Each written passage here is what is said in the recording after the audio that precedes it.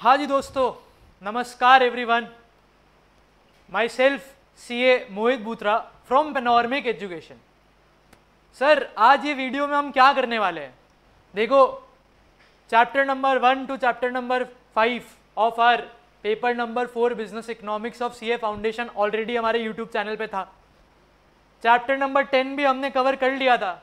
And आप लोग ने एक बहुत हैवी डिमांड रखी कि सर ये जो बीच के चैप्टर्स जो बच रहे हैं ना chapter number six seven eight nine अगर ये भी आप डाल देते तो हमारे लिए बहुत बढ़िया होता, मज़ा आ जाता। तो बस इन वीडियोस के थ्रू हम वही चैप्टर्स को कवर करने की कोशिश करेंगे। All right starting from chapter number six till chapter number nine in videos में मेरा एक ही ऑब्जेक्टिव रहेगा कि जब आप ये वीडियोस को कंप्लीट कर लेंगे, आपको ज़बरदस्त कॉन्फिडेंस आ जाना चाहिए इन वीडियोस में, और जब आप अपना एग्ज़ाम अपियर करेंगे तो ऐसा लगना चाहिए कि भाई हम चैंपियन है, हम इसे तो निकाल ही लेंगे। करेक्ट उसी एक्साइटमेंट इसी एनर्जी के साथ हम स्टार्ट करते हैं। फ्लो कैसे रहने वाला है सर सर हम सबसे पहले चैप्टर नंबर सिक्स शुरू कर रहे हैं, जो हमारा नेशनल इनकम है। एंड सबसे पहले उसकी यूनिट वन की बात करते हैं। Correct are you all ready ठीक है? एक चीज़, देखो, मैंने यहाँ पे हैंड रिटर्न नोट्स बनाए, मैं इसे फॉलो करने वाला हूँ। करेक्ट ये नोट्स आपको भी मिल जाएँगे बट सर क्या मॉड्यूल भी रेफर कर सकते हैं हाँ। ये जो नोट्स है, उसका बेस मॉड्यूल ही है। मैंने मॉड्यूल को ही थोड़ा कट शॉर्ट एडिट करके किया हुआ है। तो अगर आपके हाथ में मॉड्यूल है, कोई दिक्कत की बात नहीं है। मेरे साथ साथ बस मॉड्यूल को घुमाते जाइएगा। Correct all right let start we are starting with unit one of our chapter number six जो हमें बताएगा नेशनल इनकम की अकाउंटिंग के बारे में। देखो, थोड़ी बेसिक बातें करते हैं, फिर इस चैप्टर के अंदर देखते हैं। अगेन एक चीज़ को क्लियर रखना, यहाँ पे हम रिविजन पर्पज से मिल रहे हैं। करेक्ट तो मेरा ऑब्जेक्टिव यही रहेगा कि मैं रिवाइज कराऊं हर कॉन्सेप्ट को। ओके चैप्टर नंबर सिक्स में नेशनल इनकम की अकाउंटिंग की बात होती है तो सबसे पहले ये समझना ज़रूरी है कि भाई नेशनल इनकम का मतलब क्या होता है? इनकम मतलब हम सब समझते हैं। इनकम मतलब होता है कमाई राइट हम सब कुछ ना कुछ कमाने के ऑब्जेक्टिव से काम कर रहे हैं। आप लोग भी सीए कर रहे हो तो यही ऑब्जेक्टिव है कि भाई पैसा कमाना है और खूब जम के काम करना है। अब हम बात कर रहे हैं नेशनल इनकम की। यानी कि इनकम तो है, पर पता है किसकी? नेशन की। यानी कि पूरी देश की इनकम को निकालना है, पूरी देश की इनकम की बातें करनी है, और उसी चीज़ का लेना देना है हमारे इस चैप्टर में। Before starting to this chapter sir सीखने क्या वाले? एक बार वो बता दो। जैसे कि मैं एक फिगर बोलता हूँ, ये हमारे इंडिया का नेशनल इनकम है, ये हमारी इंडिया की कमाई है। आई होप आप लोग को ये नंबर पता हो बट मैं बता देता हूँ। It is four trillion dollars चार ट्रिलियन डॉलर है हमारी देश की कमाई। अब ये नंबर ऐसा तो नहीं हुआ होगा ना कि हमारी गवर्नमेंट सो रही थी एक दिन, सुबह उठी, भाई चार ट्रिलियन डॉलर और बोल दो चार ट्रिलियन डॉलर पब्लिक को।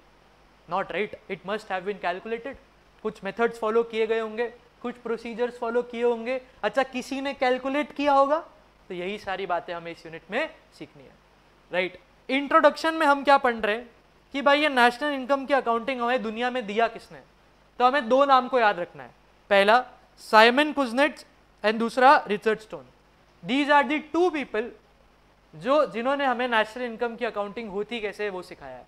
Again MCQ point of view से अगर आएगा कि who are the pioneers of national income accounting हमें याद रखना है दो नाम Simon Kuznets and Richard Stone अच्छा सर, इन्होंने तो बताया, पर इंडिया में कौन करता है?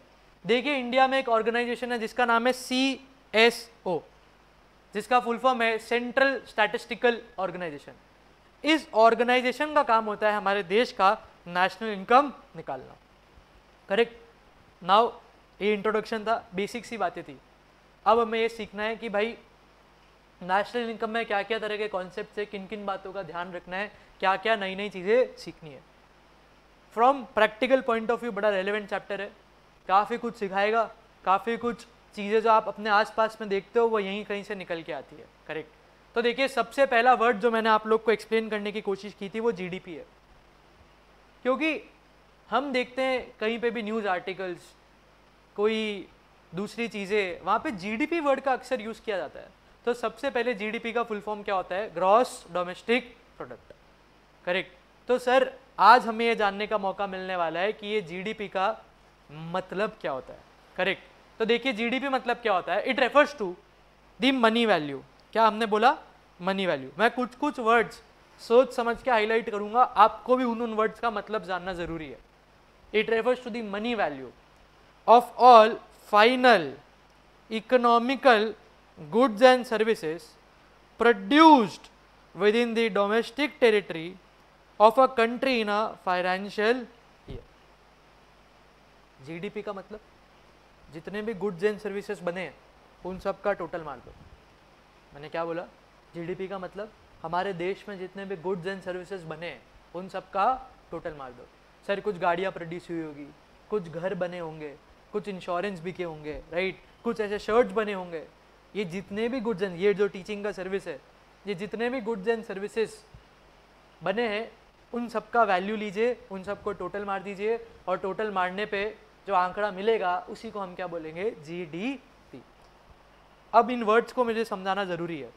देखिए सबसे पहले हमने जो वर्ड को मार्क किया है उसका मत, उसका नाम है मनी वैल्यू मनी वैल्यू मतलब क्या है? सुनिए।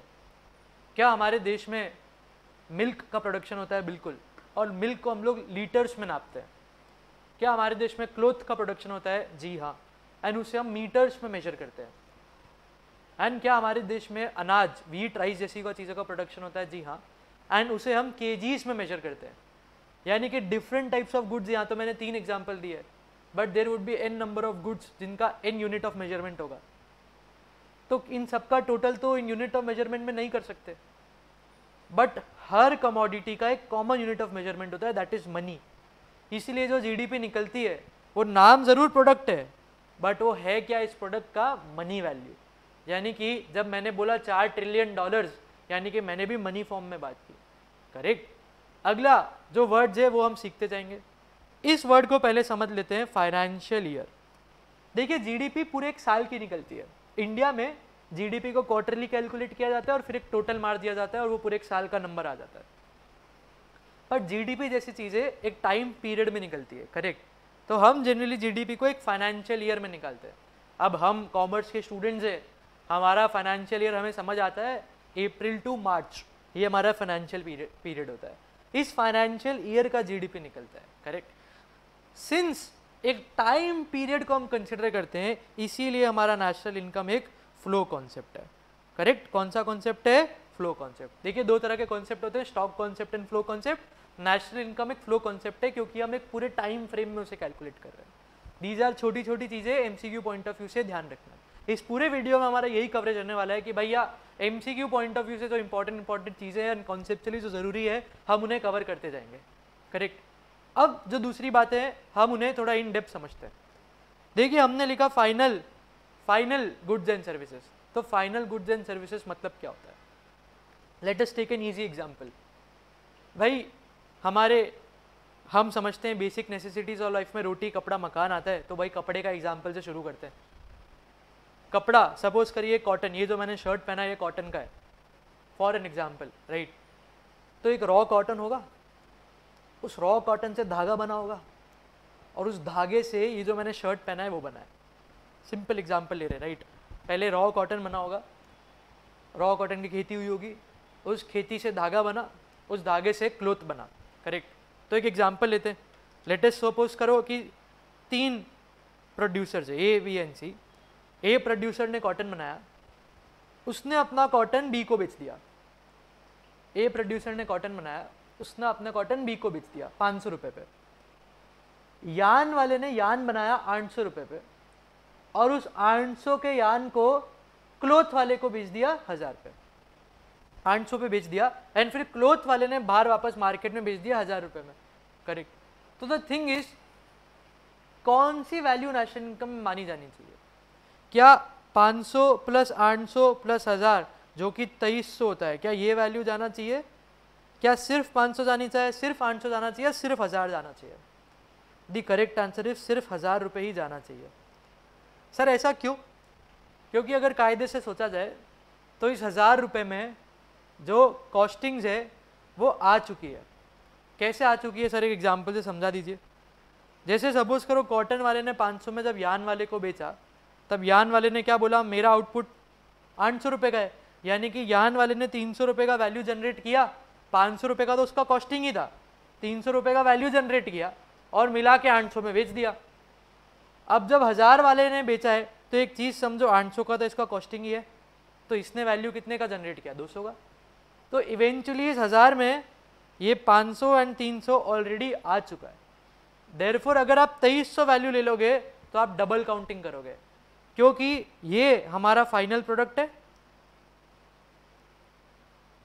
एंड इस फाइनल प्रोडक्ट के अंदर इंटरमीडिएट प्रोडक्ट्स ऑलरेडी आ चुके हैं। तो देखिए मैंने क्या लिखा है कि value of intermediate consumption is not included in national income to avoid double counting क्योंकि हम फाइनल प्रोडक्ट्स का वैल्यू ले रहे हैं एंड फाइनल प्रोडक्ट्स के अंदर इंटरमीडिएट का कॉस्ट ऑलरेडी इंक्लूडेड है हेंस हम इंटरमीडिएट को वापस नहीं लेते to avoid double counting sir एक बार थोड़ा और क्लियरली एक्सप्लेन कीजिए कि ये फाइनल प्रोडक्ट होता क्या है एंड इंटरमीडिएट प्रोडक्ट्स होते क्या है. इसीलिए मैं एक डिस्कशन आपके आगे लेके आया हूँ. देखिए इंस्टीट्यूट की मॉड्यूल आप पढ़ेंगे तो ये बेसिक कॉन्सेप्चुअल बातें उन्होंने नहीं बताई है. करेक्ट इतना आसानी से आपको बुक में नहीं मिलने वाला है. इसलिए मैंने चीज़ों को कट शॉर्ट करके सिंप्लीफाई किया है. देखिए गुड्स एंड सर्विसेज़ दो तरह के होते हैं. पहला intermediate goods and services and दूसरा फाइनल गुड्स एंड सर्विसेज़ पहला इंटरमीडिएट गुड्स एंड सर्विसेज़ दूसरा final goods and services intermediate goods and services वो गुड्स एंड सर्विसेज़ होते हैं, जिनको हम यूज़ करते हैं कुछ और काम करने के लिए, आगे गुड्स एंड सर्विसेज़ बनाने के लिए एंड फिर बने हुए गुड्स एंड सर्विसेज़ हम उनको बेचने वाले हैं. सारे एग्ज़ाम्पल से समझाइए. लेट से ये फ़ोन पड़ा है यहाँ पे. ये फ़ोन मैंने परचेज किया है वापस बेचने के लिए. ये फ़ोन मैंने परचेज किया है वापस बेचने के लिए। इसे हम ट्रेडिंग बिज़नेस बोलते हैं रीसेल पर्पज बोलते हैं। करेक्ट सिंस मेरा ऑब्जेक्टिव वापस बेचना है इसे my objective is to resell it right therefore ये एक इंटरमीडिएट गुड्स होगा। सर एक और एग्ज़ाम्पल बताइए। देखिए, मिठाई की दुकान हम सब गए करेक्ट कोई ना कोई फेस्टिवल होता है तो मिठाइयाँ हम खाते तो देखो, मिठाई सपोज़ करो हम मिठाई वाले हैं। तो मिठाई की दुकान में हमें मिठाई बनाने के लिए क्या क्या चीज़ें चाहिए? हमें दूध चाहिए मावा चाहिए, चीनी चाहिए। अब लेट से हमने दूध परचेज किया करेक्ट दूध, मावा, चीनी हमने सब परचेज किया। क्या कस्टमर्स को ये बेचने वाले हैं या इससे बना के मिठाई बेचने वाले हैं? इससे बना के मिठाई बेचने वाले करेक्ट देर ऐसे गुड्स जिससे हम फर्दर प्रोडक्शन करते हैं। यानी कि हमने मिल्क परचेज किया, मावा परचेज किया, चीनी परचेज किया, इन सबको मिक्स किया, एक मिठाई बना दी। यानी कि इन गुड से फर्दर प्रोडक्शन किया मिठाई का और उस मिठाई को बेच दिया। तो कहना क्या चाहता हूँ? मिल्क मावा और चीनी, ये तीनों इंटरमीडिएट है। और जो बनी हुई मिठाई फाइनल है, सिर्फ़ मिठाई नेशनल इनकम का पार्ट बनेगी, वो तीनों नहीं बनेंगे। सर, ऐसा क्यों? क्योंकि मिठाई में उन तीनों का कॉस्ट ऑलरेडी आ चुका है। बट एक चीज़ हमें समझना ज़रूरी है, जो मिल्क हमने परचेज किया, जब एक बार हमने उससे मिठाई बना ली तो क्या वापस सेम मिल्क को यूज़ करके मिठाई बनाई जा सकती है क्या? नहीं। Once that is you it is completed right तो देर फोर इंटरमीडिएट को हम क्या मानते हैं? जो सिंगल यूज़ गुड्स होते हैं, जैसे कि अगेन मिल्क जैसी चीज़ करेक्ट उनको। या एक सिंपल एग्ज़ाम्पल एक और समझना होता है, एक टेक्सटाइल का प्रोड्यूसर है। उस टेक्सटाइल के प्रोड्यूसर ने यान खरीदा है, धागा खरीदा है, कपड़ा बनाने के लिए। अब वो एक धागे से एक ही कपड़ा बन सकता है। वो एक धागे से मल्टीपल कपड़े नहीं बना पाएगा। अगर उसे और दूसरा कुछ कपड़ा बनाना है, उसे और यान खरीदना पड़ेगा। हेंस ऐसे गुड्स को क्या बोलते हैं? Single use goods goods and services दो तरह के होते हैं। Intermediate goods and final goods intermediate goods दो तरह के for resale and for further production of goods and services but जो सिर्फ़ एक ही बार यूज़ होने वाले फाइनल गुड्स क्या होते हैं? देखो, सबसे पहले लिखा है कंज्यूमर गुड्स एंड सर्विसेज़ आप और हम जो आम ज़िंदगी में हमारी गुड्स एंड सर्विसेज़ खरीदते हैं, वो जनरली फाइनली होते हैं। सर, कैसे एक एग्ज़ाम्पल दीजिए। फॉर एग्ज़ाम्पल जब मैंने ये शर्ट खरीदा, क्या इस शर्ट को वापस बेचूँगा क्या? नहीं, इसे तो मैं यूज़ करने वाला हूँ खुद के पर्पज के लिए। हैंस ये कैसे गुड्स होते हैं? Final goods and services sir हमने मस्त घर पे एक टीवी खरीदी है। टीवी पे हम हमारा मैच वैच देखेंगे करेक्ट सीरियल मूवीज़ देखेंगे। क्या आप उस टीवी को बेचने वाले हो क्या? नहीं। क्या कोई फर्दर प्रोडक्शन होने वाला है क्या? नहीं। देर फॉर ऐसे गुड्स को क्या बोलते हैं? फाइनल गुड्स एंड सर्विसेज़ और कंज्यूमर गुड्स अब कंज्यूमर गुड्स में भी चार तरीके होते हैं। एकदम सिंपल सिंपल सुनते जाओ। ड्यूरेबल्स ड्यूरेबल गुड्स जैसे कि टीवी, फ्रिज एयर कंडीशनर्स ये सारे गुड्स एक लंबे दौरान के लिए चलते हैं, पाँच सात, दस साल के लिए चलते हैं। हेंस इन्हें ड्यूरेबल गुड्स बोला जाता है। Next semi durable goods semi durable goods मतलब जैसे कि हमारे कपड़े। अब कपड़े पाँच दस साल तो चलते नहीं है। दो साल हार्डली दो साल, ढाई साल जितना एक कपड़ा चलता है डिपेंडिंग ऑन उसका क्वालिटी कुछ कुछ तो ऐसे होते हैं, एक वॉश में पोछा बन जाते हैं राइट देर इन्हें बोला था सेमी ड्यूरेबल गुड्स अगला है नॉन ड्यूरेबल गुड्स जैसे कि भाई आपने एक चिप्स का पैकेट खरीदा, खोल के खा गए। यानी कि वो ड्यूरेबल नहीं है, वो ख़त्म हो जाएगा। एंड नेक्स्ट है सर्विसेज़ कि हम कोई सर्विसेज़ कंज्यूम कर रहे हैं तो वो भी यहीं पे आती है। राइट अभी एक डिस्कशन करना ज़रूरी है, ध्यान से सुनना। भाई, इस बार हम मिठाई की दुकान वाले हैं। इस बार मिठाई मिठाई तो बनानी है, पर अगर आपने ध्यान दिया हो, मिठाई की दुकान में हम जाते हैं ना तो उसका एक फ्रिज पड़ा होता है। उस फ्रिज के अंदर मिठाई शोकेस की हुई होती है सारी। वो बल्जिंग सा एक फ्रिज होता है करेक्ट जिसमें वो सारी मिठाइयाँ वो लगा के रखता है। Let's talk about that fridge वो फ्रिज इंटरमीडिएट माना जाएगा या फाइनल माना जाएगा? राइट आंसर इट उसे फाइनल माना जाएगा। ऐसे गुड्स जो हम बिज़नेस में परचेज करते हैं, जिससे फर्दर प्रोडक्शन तो करने वाले हैं बट सिंगल यूज़ नहीं मल्टीपल यूज़ जैसे कि वो फ्रिज हम सालों साल यूज़ करने वाले हैं करेक्ट तो बेसिकली ऐसी कोई चीज़ हम जो हम बिज़नेस में खरीदते हैं और उसे एक साल से ज़्यादा हम बिज़नेस में वापरने वाले उन सब चीज़ों को क्या बोलते हैं, देखो फर्दर प्रोडक्शन तो कर रहे हैं गुड्स एंड सर्विसेज़ का बट वो सारे ड्यूरेबल गुड्स है। एंड ये ड्यूरेबल गुड्स हमारे फाइनल गुड्स एंड सर्विसेज़ का पार्ट बनते हैं। करेक्ट सिंपल एग्ज़ाम्पल कि भाई आपने टेक्सटाइल कपड़ा बनाने की एक फैक्ट्री लगाई तो उस फैक्ट्री में मशीनरीज तो चाहिएगी। वो जो मशीनरीज होती है ना, उन मशीनरीज को हम फाइनल मानते हैं। क्योंकि उससे फर्दर प्रोडक्शन तो हो रहा है बट सिंगल टाइम नहीं हो रहा मल्टीपल टाइम होगा। आप सालों साल उस मशीनरी को यूज़ करने वाले हो।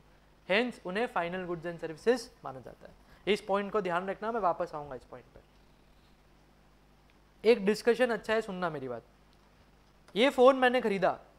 क्यों खरीदा? वापस बेचने के लिए। फ़ोन क्यों खरीदा? वापस बेचने के लिए। यानी कि मेरा पर्पस रीसेल है रीसेल देर फॉर ये एक इंटरमीडिएट गुड्स है। यही सेम फ़ोन मैंने खरीदा। बट पर्सनल पर्पस के लिए। किस पर्पस के लिए?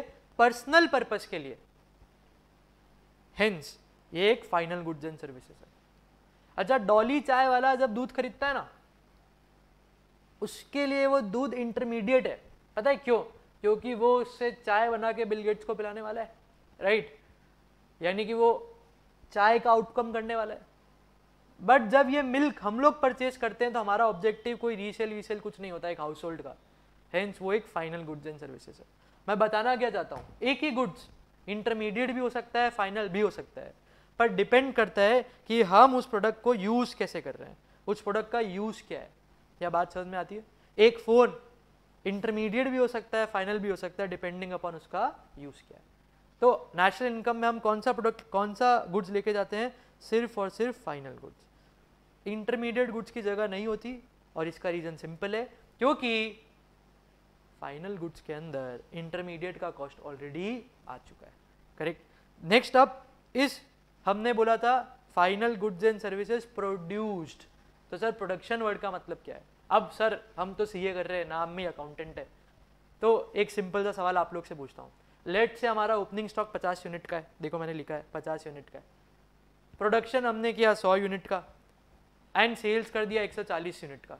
बताओ क्लोजिंग स्टॉक कितना है? टेन यूनिट्स का क्लोजिंग स्टॉक है? करेक्ट सिंपल है सर ये क्या पूछ रहे हो? सवाल ये आया कि नेशनल इनकम में कौन सी वैल्यू लेके जाए? ओपनिंग क्लोजिंग प्रोडक्शन या सेल्स कौन सी वैल्यू लेके जाए? देखो, अगर कायदे से सोचोगे तो ओपनिंग और क्लोजिंग का तो रेलेवेंस भी नहीं है, उनको तो क्यों ही लेके जाएँगे? बात आती है दो की प्रोडक्शन या फिर सेल्स का। नेशनल इनकम में हम प्रोडक्शन लेके जाते हैं। क्या लेके जाते हैं? प्रोडक्शन हमें सेल्स से मतलब नहीं होता है।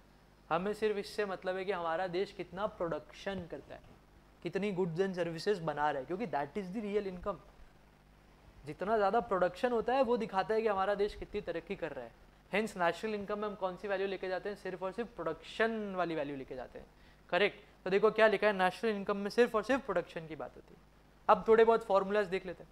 देखो अकाउंट्स में हमने पढ़ा है already closing stock is equals to opening stock plus production minus sales अगर इसी सेम फॉर्मूले से हमें प्रोडक्शन का वैल्यू निकालना है तो क्या निकाल सकते हैं? क्या? हाँ सर हम चैंपियंस है। हम तो बिल्कुल निकाल सकते हैं। सर बताइए कैसे निकालेंगे? Therefore production is equals to sales plus closing stock minus opening stock and closing stock minus opening stock को प्यार से क्या बुलाते हैं? Changes in stock I hope अब तक डिस्कशन समझ आ रहा है। हम लोग क्या बातें कर रहे हैं? एक बार क्विकली बता देता हूँ। हम पढ़ रहे हैं unit one national income accounting का। यूनिट वन में हमने बोला कि भाई किसने दिया था? तो दो आदमी। Right Richard Stone Simon Kuznets India में कौन करता है? सीएसओ करता है। मैंने बोला नेशनल इनकम सुनते टाइम हमने अक्सर एक वर्ड सुना है जीडीपी तो जीडीपी का डेफिनेशन समझा और उसमें कुछ कुछ वर्ड्स थे, वो हमने समझने शुरू किए थे। मैंने आपको मनी वैल्यू का मतलब समझाया फाइनेंशियल ईयर का मतलब समझाया। और साथ ही में मैंने आपको ये भी बताया कि भाई, ये यहाँ पे इसका फॉर्मूला क्या है? करेक्ट नेक्स्ट अब ये समझना है कि सर नेशनल इनकम कैलकुलेट कैसे होती है? करेक्ट जो आपने बोला कि सर ये चार ट्रिलियन डॉलर्स का हमारा इतना बड़ा नेशनल इनकम है, ये कैलकुलेट कैसे होता है? प्लीज़ लेट अस नो देखो, जब भी इतनी बड़ी बात होती है तो कोई भी चीज़ कैलकुलेट करने का एक तरीका नहीं होगा। मल्टीपल मेथड्स होंगे और मल्टीपल तरह की वैल्यूज़ आ सकती है based on certain assumptions correct इसी चीज़ को बेस रखते हुए हमारा नेशनल इनकम भी पता है आठ तरीके का कैलकुलेट होता है। यानी कि एक चीज़ को मेजर करने के लिए आठ नंबर्स है। आठ तरीके आठ आठ थॉट प्रोसेस है तुम एक ही चीज़ को कैलकुलेट करते हो। करेक्ट और इन्हें कैलकुलेट करने के तीन तरीके यानी कि eight types of national income है। आठ तरीके से नेशनल इनकम मेजर कर सकते हैं। और उस का निकालने के लिए तीन मेथड है। यानी कि there are eight measures of national income और उसे निकालने के लिए हम कितने मेथड यूज़ करते हैं? तीन मेथड्स को यूज़ करते हैं। करेक्ट लेट अस डिस्कस कि क्या क्या है। हम एक two into two into two model के बारे में पढ़ेंगे, जहाँ पे मैं आपको ये समझा दूँगा कि ये आठ तरह की नेशनल इनकम होती कौन कौन सी है। करेक्ट प्रॉब्लम को रियलाइज़ करते जाना और ये समझते जाना अच्छा इनके आठ तरीके क्यों हैं? क्यों एक ही तरीके से नेशनल इनकम कैलकुलेट नहीं होती? तो भाई लेट से हम सब कैफ़े गए एक। कैफ़े गए, हज़ार रुपये का बिल आया। कितने का बिल आया? हज़ार रुपये का बिल आया। अच्छा इस बिल में ना नदान सा नीचे एक छोटा सा जीएसटी भी जुड़ा हुआ होता है। जीएसटी भी जोड़ा हुआ होता है। तो लेट से पचास रुपए का हमने कुछ जीएसटी पे किया और टोटल में हमने एक हज़ार पचास का पेमेंट किया।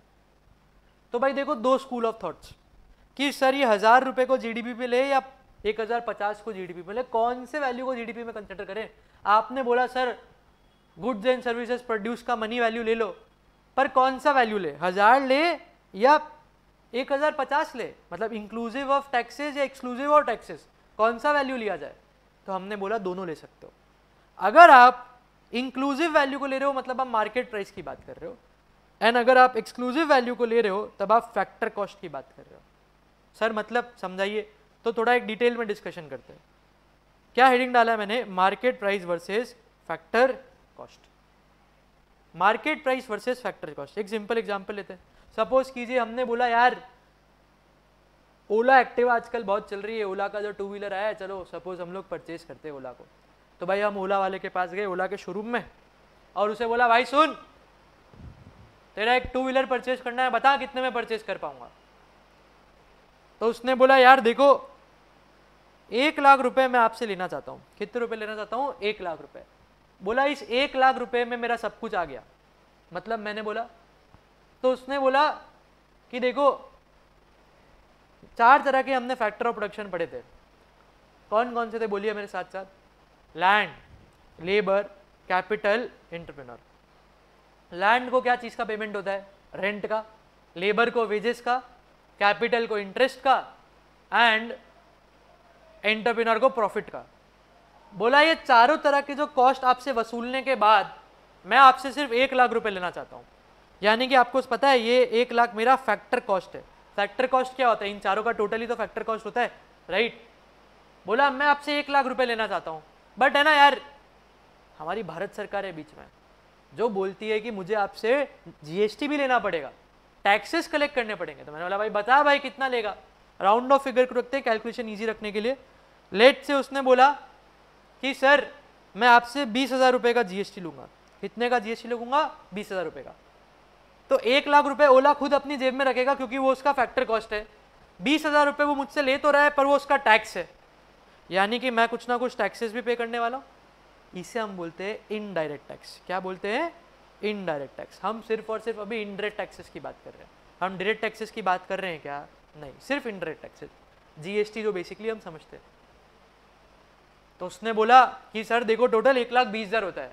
बट है ना, अभी इलेक्ट्रिक व्हीकल्स में हमारी भारत सरकार सब्सिडीज भी देती है। यानी कि कुछ कॉस्ट वो लोग बियर करने रेडी है। मैंने बोला अच्छा वाह। तो उसने बोला, सर, आपको दस हज़ार की सब्सिडीज भी मिल जाएगी। कितने की सब्सिडी दस हज़ार की सब्सिडीज तो बताओ मुझे नेक्स्ट नेट पेमेंट कितने का करना है? एक लाख रुपए ओला वाला मुझसे चार्ज करना चाहता था। बीस हज़ार रुपये का टैक्स लग रहा था। यानी कि एक लाख बीस हज़ार हुआ। और अब दस हज़ार भारत सरकार ही पे कर रही है। यानी कि मुझे नेट एक लाख दस हज़ार पे करना पड़ेगा।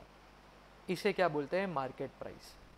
तो आप जीएसटी को, आप सॉरी नेशनल इनकम को फैक्टर कॉस्ट पे भी निकाल सकते हैं नेशनल इनकम को मार्केट प्राइस में भी निकाल सकते हैं। करेक्ट तो देखिए, यही लिखा है। मार्केट प्राइस क्या होता है? जब फैक्टर कॉस्ट में मैं इंडरेक्ट टैक्सेस को ऐड कर दूँ, क्या बोला मैंने? जब फैक्टर कॉस्ट में मैं इंडरेक्ट टैक्सेस को ऐड कर देता हूँ, तब मुझे क्या मिलता है? मार्केट प्राइस तो यहाँ पे वर्ड यूज़ किया मैंने एनआईटी एनआईटी मतलब नेट इंडरेक्ट टैक्सेस एनआईटी मतलब क्या होता है? नेट इंडरेक्ट टैक्सेस देखो, जब भी तुम वर्ड नेट सुनते हो ना मतलब कोई चीज़ में से कुछ माइनस हुआ है। नेट वर्ड क्या होता है? कोई चीज़ में से कुछ माइनस हुआ है। हमने यहाँ क्या वर्ड यूज़ किया है? नेट इंडरेक्ट टैक्सेस मतलब कि यहाँ पे इंडरेक्ट टैक्सेस में से कुछ माइनस हुआ है। तो बेसिकली क्या माइनस हुआ है? सब्सिडीज माइनस हुई है। जैसे कि देखो ये ओला वाला एग्ज़ाम्पल हमने क्या किया? फैक्टर कॉस्ट में नेट NIT को ऐड कर दिया। Sir net N I T हमारा यहाँ पे क्या था? नेट एन आई टी हमारा यहाँ पे दस हज़ार था। नेट एन आई टी मतलब indirect taxes minus subsidies I hope easily समझ आ रहा है राइट अब देखिए इनडायरेक्ट टैक्सेस और सब्सिडीज के भी है ना इंस्टीट्यूट ने दो पार्ट बांटे हुए बोला दो तरह के होते हैं। पहला, जो प्रोडक्शन पे लगे एंड दूसरा, जो प्रोडक्ट पे लगे। पहला, जो प्रोडक्शन पे लगे, दूसरा, जो प्रोडक्ट पे लगे। मतलब सर मतलब लेट से आप लोग कुछ फ़ूड बेस्ड प्रोडक्ट बनाते हैं। अब वो प्रोडक्ट को बेचोगे तो जीएसटी तो कलेक्ट करने ही वाले हो। बट वो प्रोडक्ट बनाने के लिए भी क्या आप लोग को कुछ लाइसेंसेस लेने पड़े होंगे? बिल्कुल करेक्ट जैसे आज हम जिस वर्ल्ड में ले रहे हैं तो हमारे सारे बिज़नेस लगभग बहुत रेगुलेटेड है। तो हमें तरह तरह के लाइसेंस रहने पड़ते हैं। तो इंस्टीट्यूट ने भी बोला कि भाई दो तरह के टैक्सेस होते हैं। एक, जो प्रोडक्शन पे लगे, दूसरा जो प्रोडक्ट पे लगे। प्रोडक्शन पे लगता है उसको बोलते हैं license taxes licenses fees and product में लगने वाले को हम जीएसटी बोलते हैं। करेक्ट ये बात हमें ऑलरेडी समझ आ गई। ओके अब यहाँ पे एक कॉन्सेप्ट है, पर उस पर जाने से पहले एक सम ट्राई कर लेते हैं। देखते हैं आप लोग को समझ आया नहीं। मैं बोलता हूँ फैक्टर कॉस्ट पाँच सौ रुपये कितना रुपये पाँच सौ रुपये का फैक्टर कॉस्ट है। Indirect taxes indirect taxes let's say fifty rupees है। Subsidies subsidies let's say twenty five का है। क्या आप कैलकुलेट कर सकते हैं मार्केट प्राइस क्या होगा? सिंपल होता है। Factor cost plus NIT factor cost कितना है?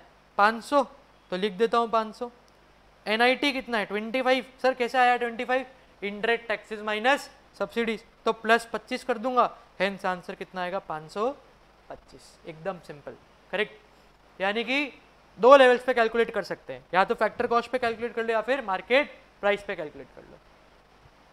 अब इंस्टीट्यूट ने एक बस कॉन्सेप्ट डाला हुआ है, जो एमसीक्यू स्टैंड पॉइंट से हमें समझ के रखना है। करेक्ट इंस्टीट्यूट ने बोला बेस प्राइस करके भी कुछ होता है।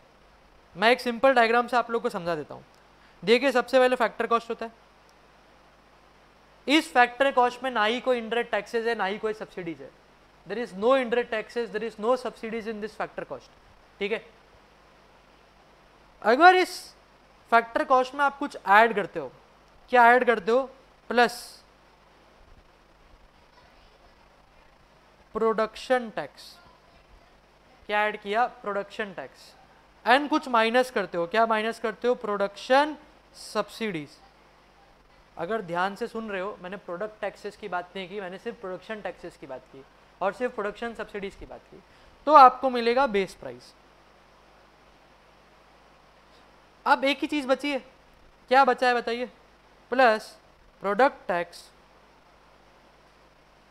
minus production product subsidies जब ये करोगे तो क्या मिलेगा? मार्केट प्राइस तो बेसिकली बीच में कॉन्सेप्ट आ गया और बेस प्राइस पे हम production taxes and production subsidies की बात करते हैं। और जब बेस प्राइस में हम product tax and product subsidies ले लेते हैं, तब हमें मार्केट प्राइस मिलता है। एकदम सिंपल। यहाँ पे मैंने फॉर्मूला लिखा है, दो मिनट लेके इसे देख लीजिए।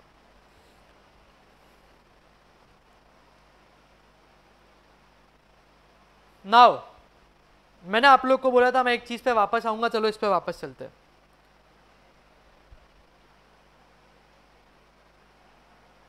यहाँ पे, जब मैं फाइनल गुड्स एंड सर्विसेज़ की बात कर रहा था तब मैंने बोला था, देखो मशीन ये सब की वैल्यू जाती है।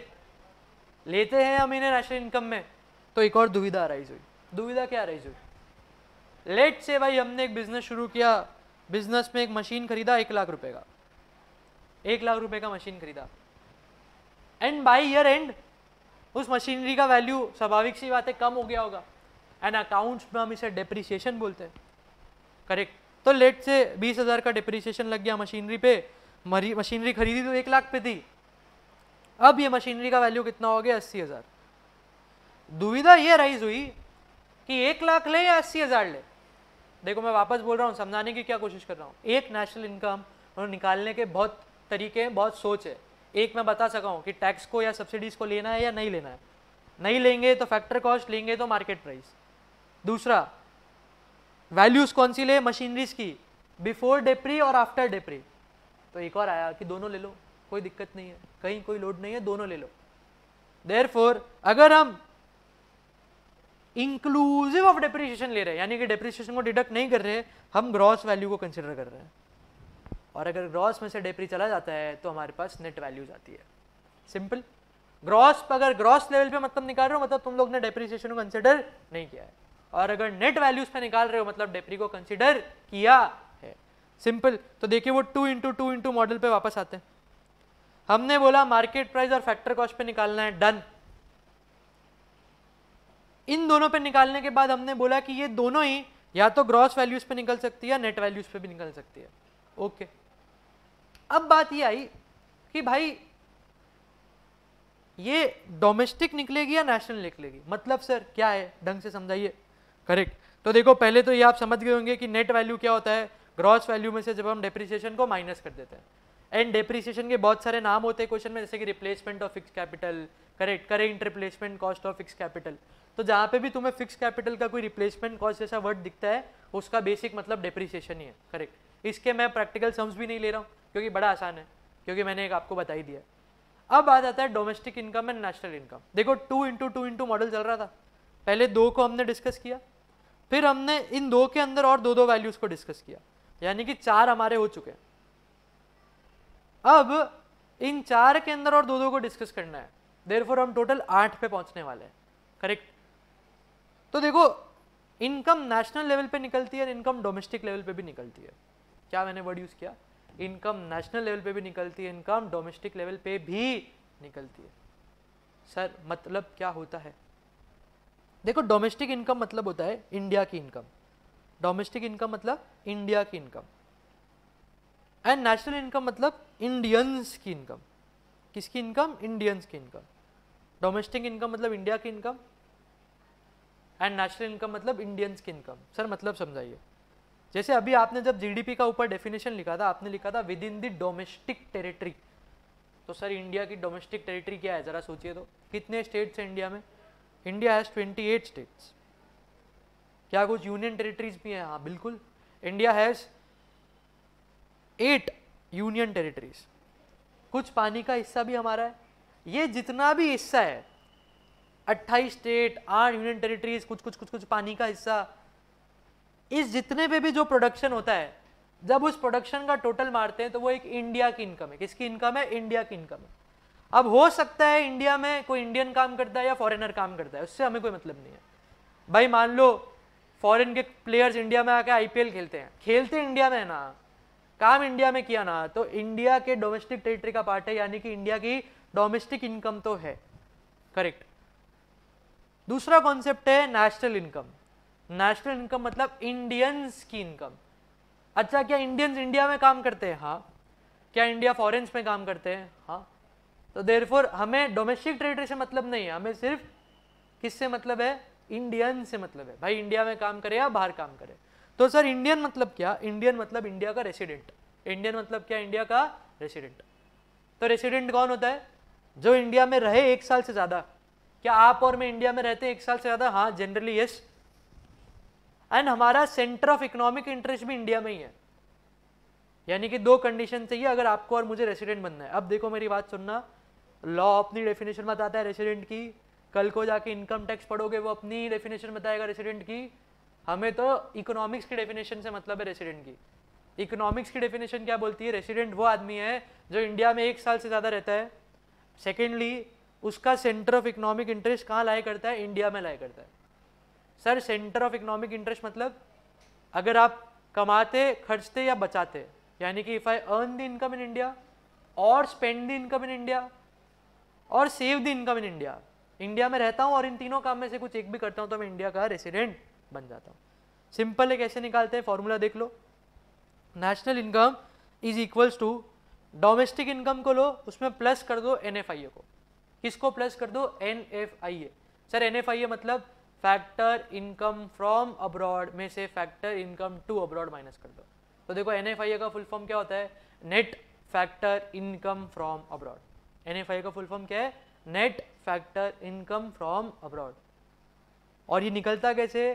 फीफा माइनस फीटा फीफा मतलब फैक्टर इनकम फ्रॉम अब्रॉड जिसमें से माइनस क्या करते हैं? फैक्टर इनकम टू अब्रॉड मैं ज़्यादा इसमें कॉन्सेप्चुअली डीप डाइव नहीं कर रहा हूँ, क्योंकि अगेन हमें इसको रिविजन पर्पज के लिए रखना है एंड शॉर्ट एंड स्पीड बना के चलना है।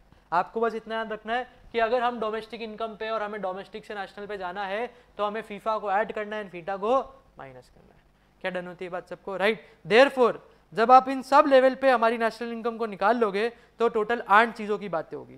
कितनी चीज़ों की बातें होगी? आठ चीज़ों की। क्विकली एक बार देखते जाते क्या क्या मैंने अभी आपको बता दिया है।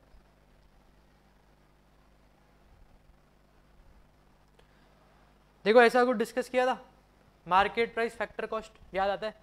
फिर हमने बोला ग्रॉस लेवल नेट लेवल पे निकलता है। एंड फिर डोमेस्टिक प्रोडक्ट निकल सकता है नेशनल प्रोडक्ट निकल सकता है। अगर हम एक ऐसी इनकम निकालते हैं, बहुत ध्यान से सुनना जो मैं समझा रहा हूँ। अगर हम एक ऐसी इनकम निकालते हैं, जिसमें हम ग्रॉस वैल्यूज़ को ले रहे हैं मतलब कि डेप्रिसिएशन माइनस नहीं कर रहे सेकेंडली हम डोमेस्टिक प्रोडक्ट ले रहे हैं, यानी कि सिर्फ़ इंडिया में बनाई हुई चीज़ों को ले रहे हैं एंड उन बनाई हुई चीज़ों का मार्केट प्राइस ले रहे हैं। तीन चीज़ें बोली मैंने। डेप्रिसिएशन को कंसिडर नहीं कर रहे डोमेस्टिक टेरिटरी में बना हुआ चीज़ों को ले रहे हैं एंड मार्केट प्राइस पे ले रहे हैं। पता है तो हम क्या निकाल रहे हैं? G D P at M P क्या निकाल रहे हैं? G D P at M P हम वैल्यू निकाल रहे हैं G D P at M P का। वैसे ही, बाजू में देखो वापस। अगर हम ग्रॉस वैल्यूज़ लेते हैं ग्रॉस वैल्यू को नेशनल लेवल पे निकालते हैं, यानी कि इंडियंस की इनकम निकालते हैं, और मार्केट प्राइस पे निकालते हैं तो है हम कौन सी वैल्यू निकाल रहे हैं? G N P at M P मतलब ग्रॉस मतलब डेप्रिसिएशन कंसिडर नहीं किया। नेशनल प्रोडक्ट मतलब कि इंडियंस की इनकम डोमेस्टिक टेरिटरी से लेना देना नहीं है। एट मार्केट प्राइस अगेन अगर हम नेट वैल्यूज़ निकालते हैं मतलब कि फ़र्स्ट वर्ड ग्रॉस नहीं होगा फ़र्स्ट वर्ड नेट होगा। नेट अगर डोमेस्टिक लेवल पे निकाल रहे तो gross domestic product sorry net domestic product at market price correct net domestic product at market price and अगला क्या होगा? Net national product at market price तो ऐसे कुछ कुछ तरह की इनकम निकलती है। मैं क्विकली एक बार नाम ले लेता हूँ। G D P at M P G N P at M P N D P at M P N N P at M P G D P at F C N D P at F C N D P at G N P at F C N D P at F C and N N P at F C ये आठ तरह की income है। मतलब national income एक निकालने के कितने टाइप्स की नेशनल इनकम निकाल सकते हैं हम? आठ तरह की। ये सारी की सारी पता है किसको रिप्रेजेंट कर रहे हैं? हमारे देश की इनकम को। बस वही है, किसी में हम मार्केट प्राइस ले रहे हैं, किसी में नेशनल इनकम ले रहे हैं, किसी में फैक्टर कॉस्ट ले रहे हैं, किसी में इंक्लूसिव डेप्रिसिएशन किसी में exclusive depreciation different different school of thoughts है। और ऐसे करते करते हमें आठ तरह की इनकम निकल के आती है। करेक्ट तो सर किसी ना किसी को तो नेशनल इनकम मानना पड़ेगा ना और किसी ना किसी को डोमेस्टिक इनकम तो मानना ही पड़ेगा। हेंस हमारी इंस्टीट्यूट ने बताया है कि हम N N P at F C को बताइए क्या मानते हैं national income and N D at को क्या मानते हैं डोमेस्टिक इनकम यानी कि अगर क्वेश्चन बोले कि नेशनल इनकम निकाल के बताओ तो तुम पता है क्या निकाल रहे होगे N N P at F C करेगा इंस्टीट्यूट ये चीज़। तुम्हें बोलेगा नेशनल इनकम निकालो। तब याद रखना N N P at F C पूछ रहा है। वापस इंस्टीट्यूट पूछेगा डोमेस्टिक इनकम निकाल के बताओ। तो तुम्हें पता है क्या निकालना है? एनडीपी एट एफ़ सी क्या बात समझ आती है? डोमेस्टिक इनकम मतलब इंडिया के डोमेस्टिक टेरिटरी में हुआ हुआ प्रोडक्शन नेशनल इनकम मतलब इंडियंस ने किया हुआ प्रोडक्शन एक सिंपल एग्ज़ाम्पल से ये चीज़ को क्लोज कर देता हूँ। एन एग्ज़ाम्पल सपोज़ करो, ये इंडिया है। ये इंडिया है। और ये रेस्ट ऑफ़ द वर्ल्ड है। एग्ज़ाम्पल सिंपल रखते हैं। इंडिया है and rest of the world है। भाई इंडिया में क्या हम जैसे इंडियंस हैं जो इंडिया में रहते हैं इंडिया में रह के काम करते हैं? जी हाँ। सपोज़ करो हम सब मिलके पंद्रह लाख रुपए कमाते हैं। कितना रुपया कमाते हैं? पंद्रह लाख। ये पंद्रह लाख पता है क्या रिप्रेजेंट कर रहे हैं? कि इंडियंस ने इंडिया में कितना कमाया। डन होती है। सपोज़ करो भाई टेलर स्विफ्ट इंडिया में आके कॉन्सर्ट करके गई। टेलर स्विफ्ट इंडिया में आई कॉन्सर्ट करके गई। मुंबई में आई, मान लो कॉन्सर्ट करके चली गई। तो क्या उसने इंडिया के डोमेस्टिक टेरिटरी के अंदर काम किया? हाँ। बट क्या टेलर स्विफ्ट हमारी रेसिडेंट है? बिल्कुल भी नहीं। सपोज़ करो उसने कॉन्सर्ट किया और उसने पाँच लाख का रेवेन्यू जनरेट किया, पाँच लाख का प्रोडक्शन किया उसने। देर फॉर इंडिया का पता है डोमेस्टिक टेरिटरी क्या है? डोमेस्टिक टेरिटरी में प्रोडक्शन कितना हुआ है? बीस लाख का। कितने का हुआ है? बीस लाख का। क्या बात समझ में आती है? डोमेस्टिक टेरिटरी में हमें ये मतलब नहीं है कौन प्रोडक्शन कर रहा है। ये मतलब है कहाँ प्रोडक्शन हो रहा है। अगर इंडिया में हो रहा है तो उसको ले लेंगे। लेट सपोज़ कि भाई विराट कोहली यूएसए गया और उसने यूएसए में कुछ बिज़नेस किया और बिज़नेस करने से उसने छः लाख का इनकम किया। कितने का इनकम किया? छः लाख का इनकम किया। अच्छा क्या? विराट कोहली हमारा रेसिडेंट है। हाँ भाई हाँ बिल्कुल। बट क्या ये छह लाख हमारी डोमेस्टिक टेरिटरी में आएगा? नहीं, ये तो यूएसए में हुआ है। पर क्या ये नेशनल इनकम में आएगा? हाँ क्योंकि नेशनल इनकम में पता है किससे फ़र्क पड़ता है? सिर्फ़ और सिर्फ़ रेसिडेंट से। यानी कि हमारा नेशनल इनकम मालूम कितना होगा? पंद्रह लाख। क्योंकि नेशनल इनकम मतलब इंडियंस जो काम करते हैं। तो पंद्रह लाख प्लस कितना होगा? छह लाख। हेंस आंसर कितना आएगा? ट्वेंटी वन लैक्स तो सुनिए मेरी बात। पता है हमने क्या किया? नेशनल इनकम निकालने के लिए डोमेस्टिक इनकम डोमेस्टिक इनकम हमने कितनी निकाली थी? बीस लाख? तो बीस लाख लिख लेते बीस लाख में मैंने क्या बोला? फीफा को ऐड करना फीटा को माइनस कर देना। अब एक सिंपल सी सो, चीज़ सोचो। हम क्या निकालना चाहते हैं? नेशनल इनकम नेशनल इनकम मतलब देशवासियों ने कितना कमाया? इंडिया में या बाहर? हम शुरू कर रहे हैं डोमेस्टिक इनकम से। तो डोमेस्टिक इनकम में तो ये पाँच लाख ऑलरेडी इंक्लूडेड है। हमें इसे हटाना पड़ेगा और इस छः लाख को जोड़ना पड़ेगा। यानी कि हम, पता है प्लस करते हैं फीफा को फीफा को। फीफा मतलब फैक्टर इनकम फ्रॉम अब्रॉड क्या विराट कोहली हमारा फैक्टर है? हाँ। क्या उसने इनकम की? हाँ। क्या बाहर से की? हाँ। Hence factor income from abroad को ऐड किया and factor income to abroad को माइनस किया। सर मतलब क्या टेलर स्विफ्ट हमारी फैक्टर है? नहीं। क्या यूएसए की है? हाँ। उसने इनकम किया? हाँ। तो यानी कि हमने फैक्टर को इनकम को दी पर अब्रॉड में। देर उसको क्या कर देंगे? माइनस तो सिंपल पता है हम क्या करेंगे? Plus six lakhs minus five lakhs which gives us twenty one I hope basic concept clear हुए हो? करेक्ट ये थी बेसिक बेसिक सी बात. है एक बार मैंने एक समरी जैसा आप लोग के साथ बनाने की कोशिश करूँगा ताकि क्लियर हो जाए. देखो, अगर क्वेश्चन में हमें नेट वैल्यूज़ दी हुई होती है और हमें ग्रॉस वैल्यूज़ निकालने को बोला होता है, क्या बोल रहा हूँ मैं? अगर नेट वैल्यूज़ दी हुई होती है ना, अगर ग्रॉस वैल्यूज़ निकालने को बोला होता है तो है हम क्या करेंगे? प्लस करते हैं depreciation we add depreciation and अगर ग्रॉस वैल्यू से नेट पे जाना है तो हम माइनस करते हैं डिप्रिसिएशन को। माइनस करते हैं डिप्रिसिएशन को। नेक्स्ट अगर डोमेस्टिक से नेशनल पे जाना है तो हम प्लस करते हैं N F I A and अगर नेशनल से डोमेस्टिक पे जाना है तो हम माइनस करते हैं एन एफ़ आई ए ये फॉर्मूले के साथ खेल रहा हूँ वैसे अगर मैं फैक्टर कॉस्ट से मार्केट प्राइस की तरफ़ जाना चाहता हूँ तो मैं प्लस करूँगा एन को नेट इनडायरेक्ट टैक्सेस को। बट अगर मैं मार्केट प्राइस से फैक्टर कॉस्ट की तरफ़ जाना चाहता हूँ तो मैं माइनस करूँगा एन आई टी को। करेक्ट इस चीज़ को मैं एक सम के थ्रू भी समझा देता हूँ, मैंने क्या बताने की कोशिश की है। सपोज़ करो क्वेश्चन में आपको G D P at M P दिया हुआ है। बोला है G D P M P दो हज़ार और बोला है N N P at F C निकाल के बताओ। ठीक है मतलब उन्होंने ग्रॉस वैल्यूज़ दे दी हमें और हमसे मांगा नेट वैल्यूज़ है। हमें डोमेस्टिक वैल्यूज़ दे दिया है, हमसे मांगा नेट वैल्यूज़ है। हमें डोमेस्टिक वैल्यूज़ दे दिया, हमसे मांगा नेशनल वैल्यूज़ है। और हमें मार्केट प्राइस दे दिया है, हमसे मांगा फैक्टर कॉस्ट है। करेक्ट तो ऐसा कुछ वो लोग ने सम दिया है हमें। Again this is an revision तो मैं उस पर्पज से ले रहा हूँ। लेट से हमारा डेप्रीसिएशन 300 है। देखो, हम लोग ग्रॉस पे है नेट पे जाना है। क्या बोला मैंने? ग्रॉस पे ऑलरेडी है नेट पे जाना है। ग्रॉस से नेट पे जाना है, यानी कि पता है डिप्रिसिएशन क्या करेंगे? माइनस हेंस डेप्री करेंगे माइनस डेप्री कितना है? तीन सौ रुपया माइनस अगला, हम डोमेस्टिक पे है, हमें नेशनल पे जाना है।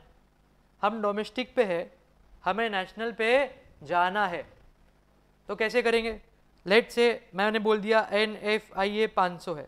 कितना है? 500 तो एन एफ़ आई ए पाँच सौ है मतलब डोमेस्टिक से नेशनल में जाना है तो हम क्या करते हैं? प्लस करते हैं एन एफ़ आई ए को।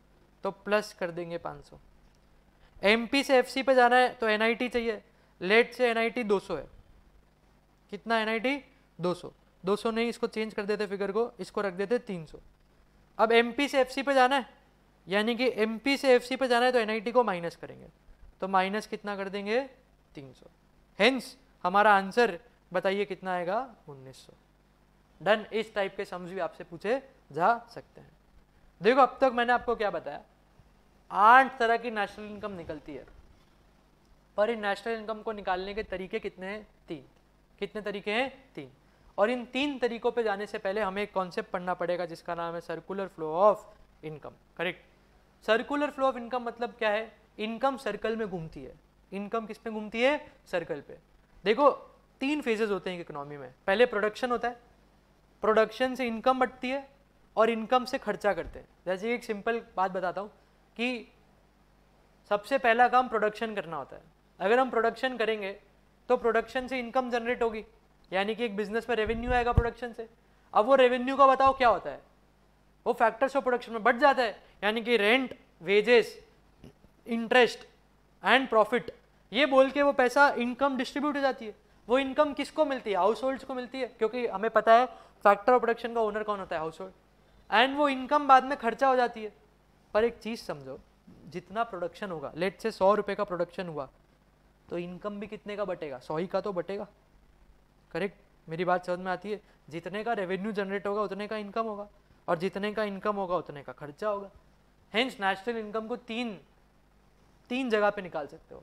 या तो प्रोडक्शन लेवल पे निकाल लो या इनकम लेवल पे निकाल लो या कंजम्पशन लेवल पे निकाल लो। अगर प्रोडक्शन लेवल पे आप निकालते हो तो आप वैल्यू एडेड मेथड को यूज़ करते हो।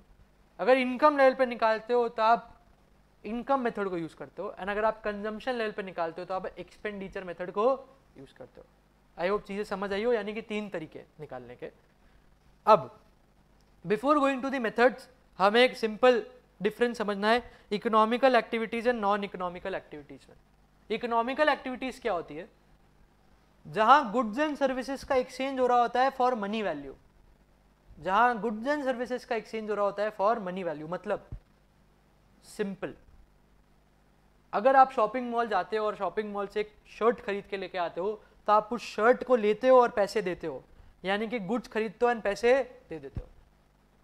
तो क्या बोला गया? आप जब भी गुड्स एंड सर्विसेज़ बाय करते हो, उसके सामने पैसे देते हो, उसको बोलते हैं economical activities non economical activities क्या होता है? वो एक्टिविटीज़ ध्यान से सुनना, जहाँ पे या तो सिर्फ़ गुड्स एंड सर्विसेज़ एक्सचेंज हो रहे हैं, या फिर सिर्फ़ पैसा एक्सचेंज हो रहा है। या तो सिर्फ़ गुड्स एंड सर्विस एक्सचेंज हो रही है, पैसा एक्सचेंज नहीं हो रहा। या फिर सिर्फ़ पैसा एक्सचेंज हो रहा है गुड्स एंड सर्विस एक्सचेंज नहीं हो रही। लेट से फॉर एग्ज़ाम्पल भाई, रात को मैच था इंडिया का। तुमने तुम्हारे दोस्त से एक बेट लगाया, शर्त लगाई कि भाई इंडिया वर्सेस ऑस्ट्रेलिया का मैच है, ऑस्ट्रेलिया जीती तो तू मुझे रुपए देना, इंडिया जीते तो मैं तुझे रुपए दूँगा। अब, क्या इसमें कोई गुड्स एंड सर्विसेज़ एक्सचेंज है? नहीं, सिर्फ़ मनी एक्सचेंज है। मान लो तुम्हारे घर पर रिश्तेदार है रिश्तेदार आए तो नाश्ता पानी कराने के बाद तुमने उन जाते जाते उनका पाँव छुआ। और पाँव आशीर्वाद के लिए नहीं, लिफाफे के लिए छुआ और वो तुम्हें लिफाफा दे, तुम्हारी ये इच्छा थी और उन्होंने तुम्हें लिफाफा दे दिया। क्या मनी का एक्सचेंज हुआ? हाँ मनी तो तुम्हें मिल गया। बट क्या तुमने कोई गुड्स एंड सर्विसेज़ उन्हें दिया क्या? नहीं।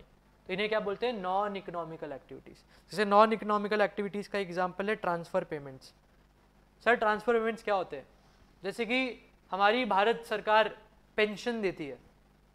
जितने भी लोग रिटायर हो जाते हैं और अब वो काम कर नहीं रहे होते पर उन्हें फिर भी पेंशन दिया जाता है।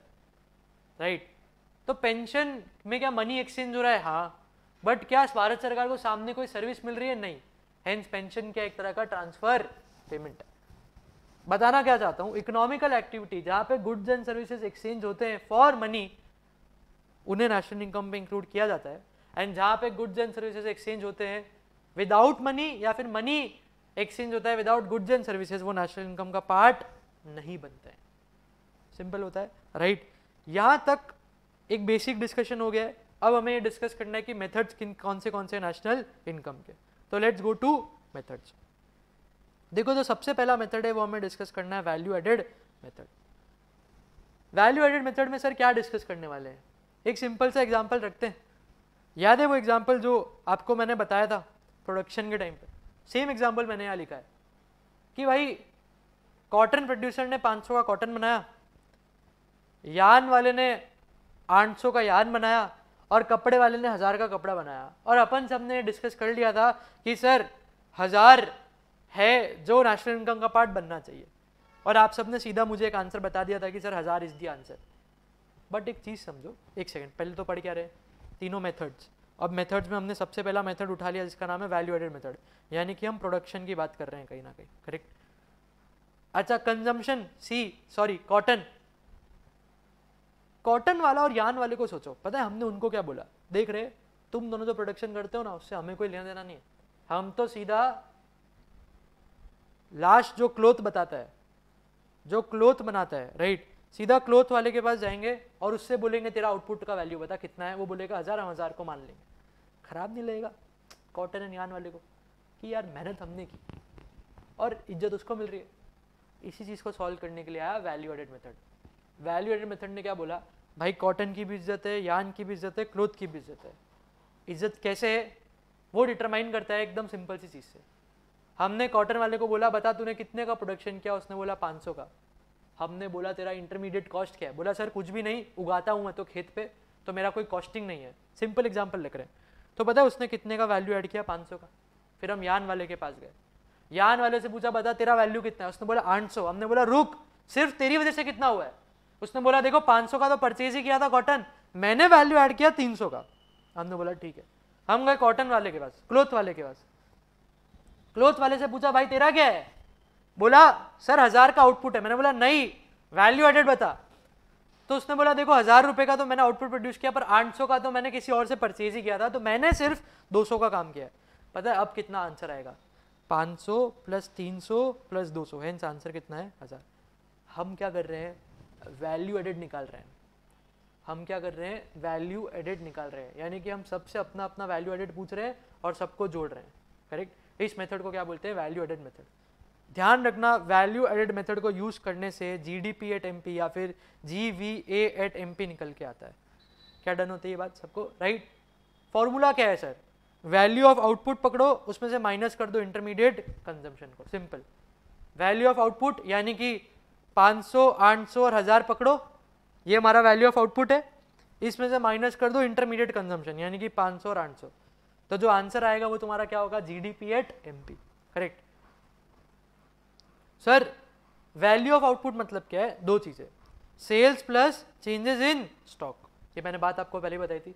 सेल्स दो तरह की हो सकती है। एक डोमेस्टिक सेल्स एंड एक एक्सपोर्ट्स तो therefore domestic sales plus exports and closing stock and minus opening stock को हम चेंजेस इन स्टॉक बोलते हैं।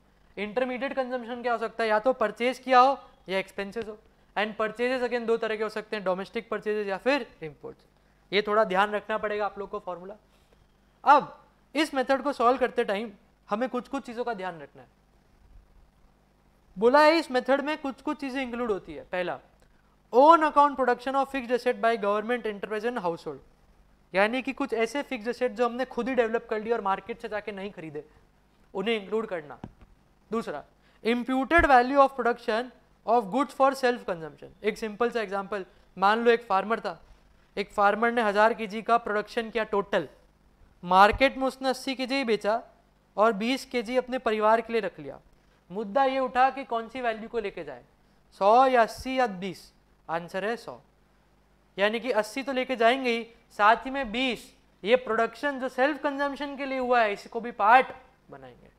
अगला imputed rent of owner occupied houses मतलब अगर आप बिज़नेस कर रहे हो, पर अपनी खुद की ज़मीन पे, अपने खुद के घर पे, अपने खुद के प्लेस पे तो आप स्वाभाविक सी बात है, वहाँ का रेंट नहीं चुकाने वाले। बट हमें इम्प्यूटेड रेंट निकालना पड़ता है। यानी कि ऐसा मानना पड़ता है कि भाई अगर कोई और होता तो वो कितना रेंट चुका रहा होता, या हम ही होते, या किसी और की ज़मीन पे तो कितना रेंट चुका रहे होते, हम उसको भी वैल्यू में बनाएँगे। एंड चेंजेस इन स्टॉक तो मैं ऑलरेडी आपको बता चुका हूँ। तो देखो, तीन मेथड्स है। पहला value added method value added method से सर कौन सी वैल्यू निकल के आती है? G D P at M P मैंने क्लास में भी बताया था आप लोग को। G D P at M P से कंफ्यूज नहीं होने का, उसका मतलब G V A at M P ही होता है। एक्चुअल में क्या होता है जी वी एट एम को जब प्लस करते हैं तो हमें G D P at M P मिलता है। यानी कि G D P at M P is nothing but summation of G V at P right formula क्या था? Value of output minus intermediate consumption value of output में दो चीज़ें sales plus changes in stock sales दो तरह की domestic sales या फिर exports and changes in output closing stock minus opening stock intermediate cost intermediate consumption दो चीज़ें परचेजेस एंड एक्सपेंसेस परचेजेस के दो पार्ट्स डोमेस्टिक या फिर इम्पोर्ट्स करेक्ट एंड एक्सपेंसेस मतलब बाई इलेक्ट्रिसिटी और वो नॉर्मल चीज़ों की बात रही next method is income method कौन सा मेथड है? इनकम मेथड इनकम मतलब कमाई। कमाते तो फैक्टर्स ऑफ़ प्रोडक्शन है। तो बताइए फैक्टर्स ऑफ़ प्रोडक्शन क्या क्या कमाते हैं? फैक्टर्स ऑफ़ प्रोडक्शन चार चीज़ें कमाते हैं। Rent interest profit and wages ये चार चीज़ें हमने पढ़ी है। पता है, ये जब चारों चीज़ों का टोटल मारेंगे ना तो हमें भी इनकम मेथड से वैल्यू निकल के आ जाएगी। इनकम मेथड से जो वैल्यू निकल के आती है, उसे क्या बोलते हैं? G D P at F C क्या बोला जाता है? G D P at F C correct sir इसमें क्या क्या लेते हैं? इसमें बेसिकली तीन चीज़ें ऐड करते हैं। सबसे पहले कॉम्पनसेशन टू एम्प्लॉयज़ हमने हमारे एम्प्लॉयज़ या हमारे देश में जितना एम्प्लॉयज़ को पैसा मिला है, उसको पार्ट करते हैं। तो पहला चीज़ क्या लेके जाते हैं? Compensation to employees compensation to employees में दो चीज़ें आती है। एक wages and salaries in cash and in kind and दूसरा एम्प्लॉयर का contribution to social security scheme अगला ऑपरेटिंग सरप्लस ऑपरेटिंग सरप्लस देखिए ऑपरेटिंग सरप्लस में तीन चीज़ें आती है। अगेन याद रखना क्या पढ़ रहे हैं? हम पढ़ रहे हैं इनकम मेथड इनकम मेथड से कौन सी वैल्यू निकल के आती है? G D P at F C कुछ कुछ चीज़ों को ऐड करेंगे तो G D P at F C का वैल्यू निकल के आएगा। सबसे पहली चीज़ कॉम्पनसेशन टू एम्प्लॉइज जिसमें दो चीज़ें आती है wages and salary in kind and in cash and दूसरा एम्प्लॉयर का कॉन्ट्रीब्यूशन क्वेश्चन दे देगा एम्प्लॉई का कॉन्ट्रीब्यूशन नहीं लोगे। सिर्फ़ किसका कॉन्ट्रीब्यूशन लोगे? एम्प्लॉयर का कॉन्ट्रीब्यूशन लोगे। फिर लेना है ऑपरेटिंग सरप्लस ऑपरेटिंग सरप्लस में तीन चीज़ें। Rent and royalties rent tangible property में पे किया जाता है। रॉयल्टीज इनटेंजिबल प्रॉपर्टीज़ पे पे किया जाता है। फिर किसको ऐड करोगे? इंटरेस्ट को। करेक्ट। एंड फिर किसको लोगे? प्रॉफिट बिफोर टैक्सेस को। तो ऑपरेटिंग सरप्लस को ऐड करना है। ऑपरेटिंग सरप्लस मतलब तीन चीज़ें।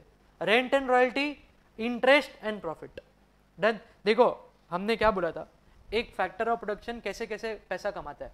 तो तुमने सबसे पहले बोला वेजेस सर वेजेस तो मैंने लिख दिया वेजेस का एक नया नाम कॉम्पनसेशन टू एम्प्लॉयज़ फिर तुमने बोला सर रेंट कुछ रेंट कमाता है। करेक्ट फिर तुमने बोला सर कुछ रॉयल्टी कमाता है।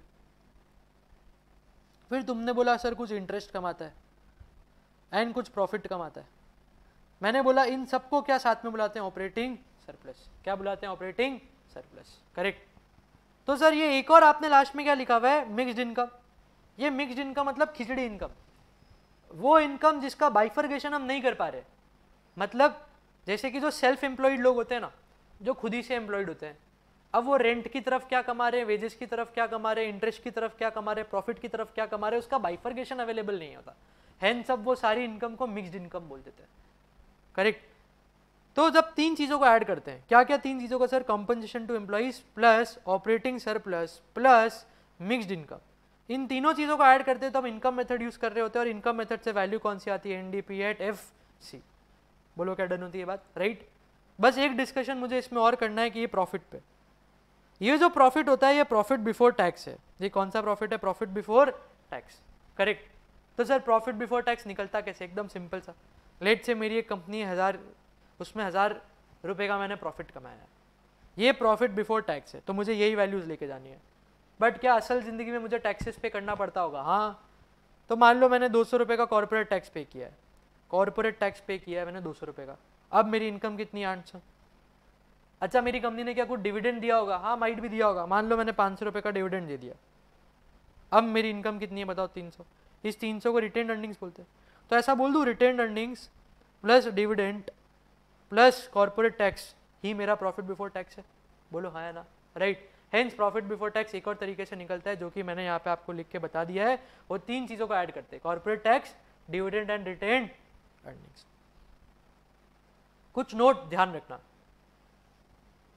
Capital gain windfall gains transfer incomes ये सारी इनकम्स को नेशनल इनकम का पार्ट नहीं बनाते और ये कौन बोलता है? हमें इनकम मेथड बोलता है। और भी चीज़ें कुछ बता देता हूँ, याद रखना। Sale and purchase of second hand goods second hand goods पे जो ट्रांजेक्शन में हमें गेन होता है। मतलब सेकेंड हैंड गुड्स का। फॉर एग्ज़ाम्पल मेरे पास एक गाड़ी थी, मैंने छः लाख में परचेज की थी। थोड़ा टाइम चलाने के बाद मैंने उस गाड़ी को सात लाख में बेच दिया। मिला एक बकरा, चिपका दिया सात लाख पे। तो एक लाख का प्रॉफिट हुआ। बोला गया, ये एक लाख का प्रॉफिट नेशनल इनकम का पार्ट मत बनाना। अगर कायदे सोचोगे ना तो सही है।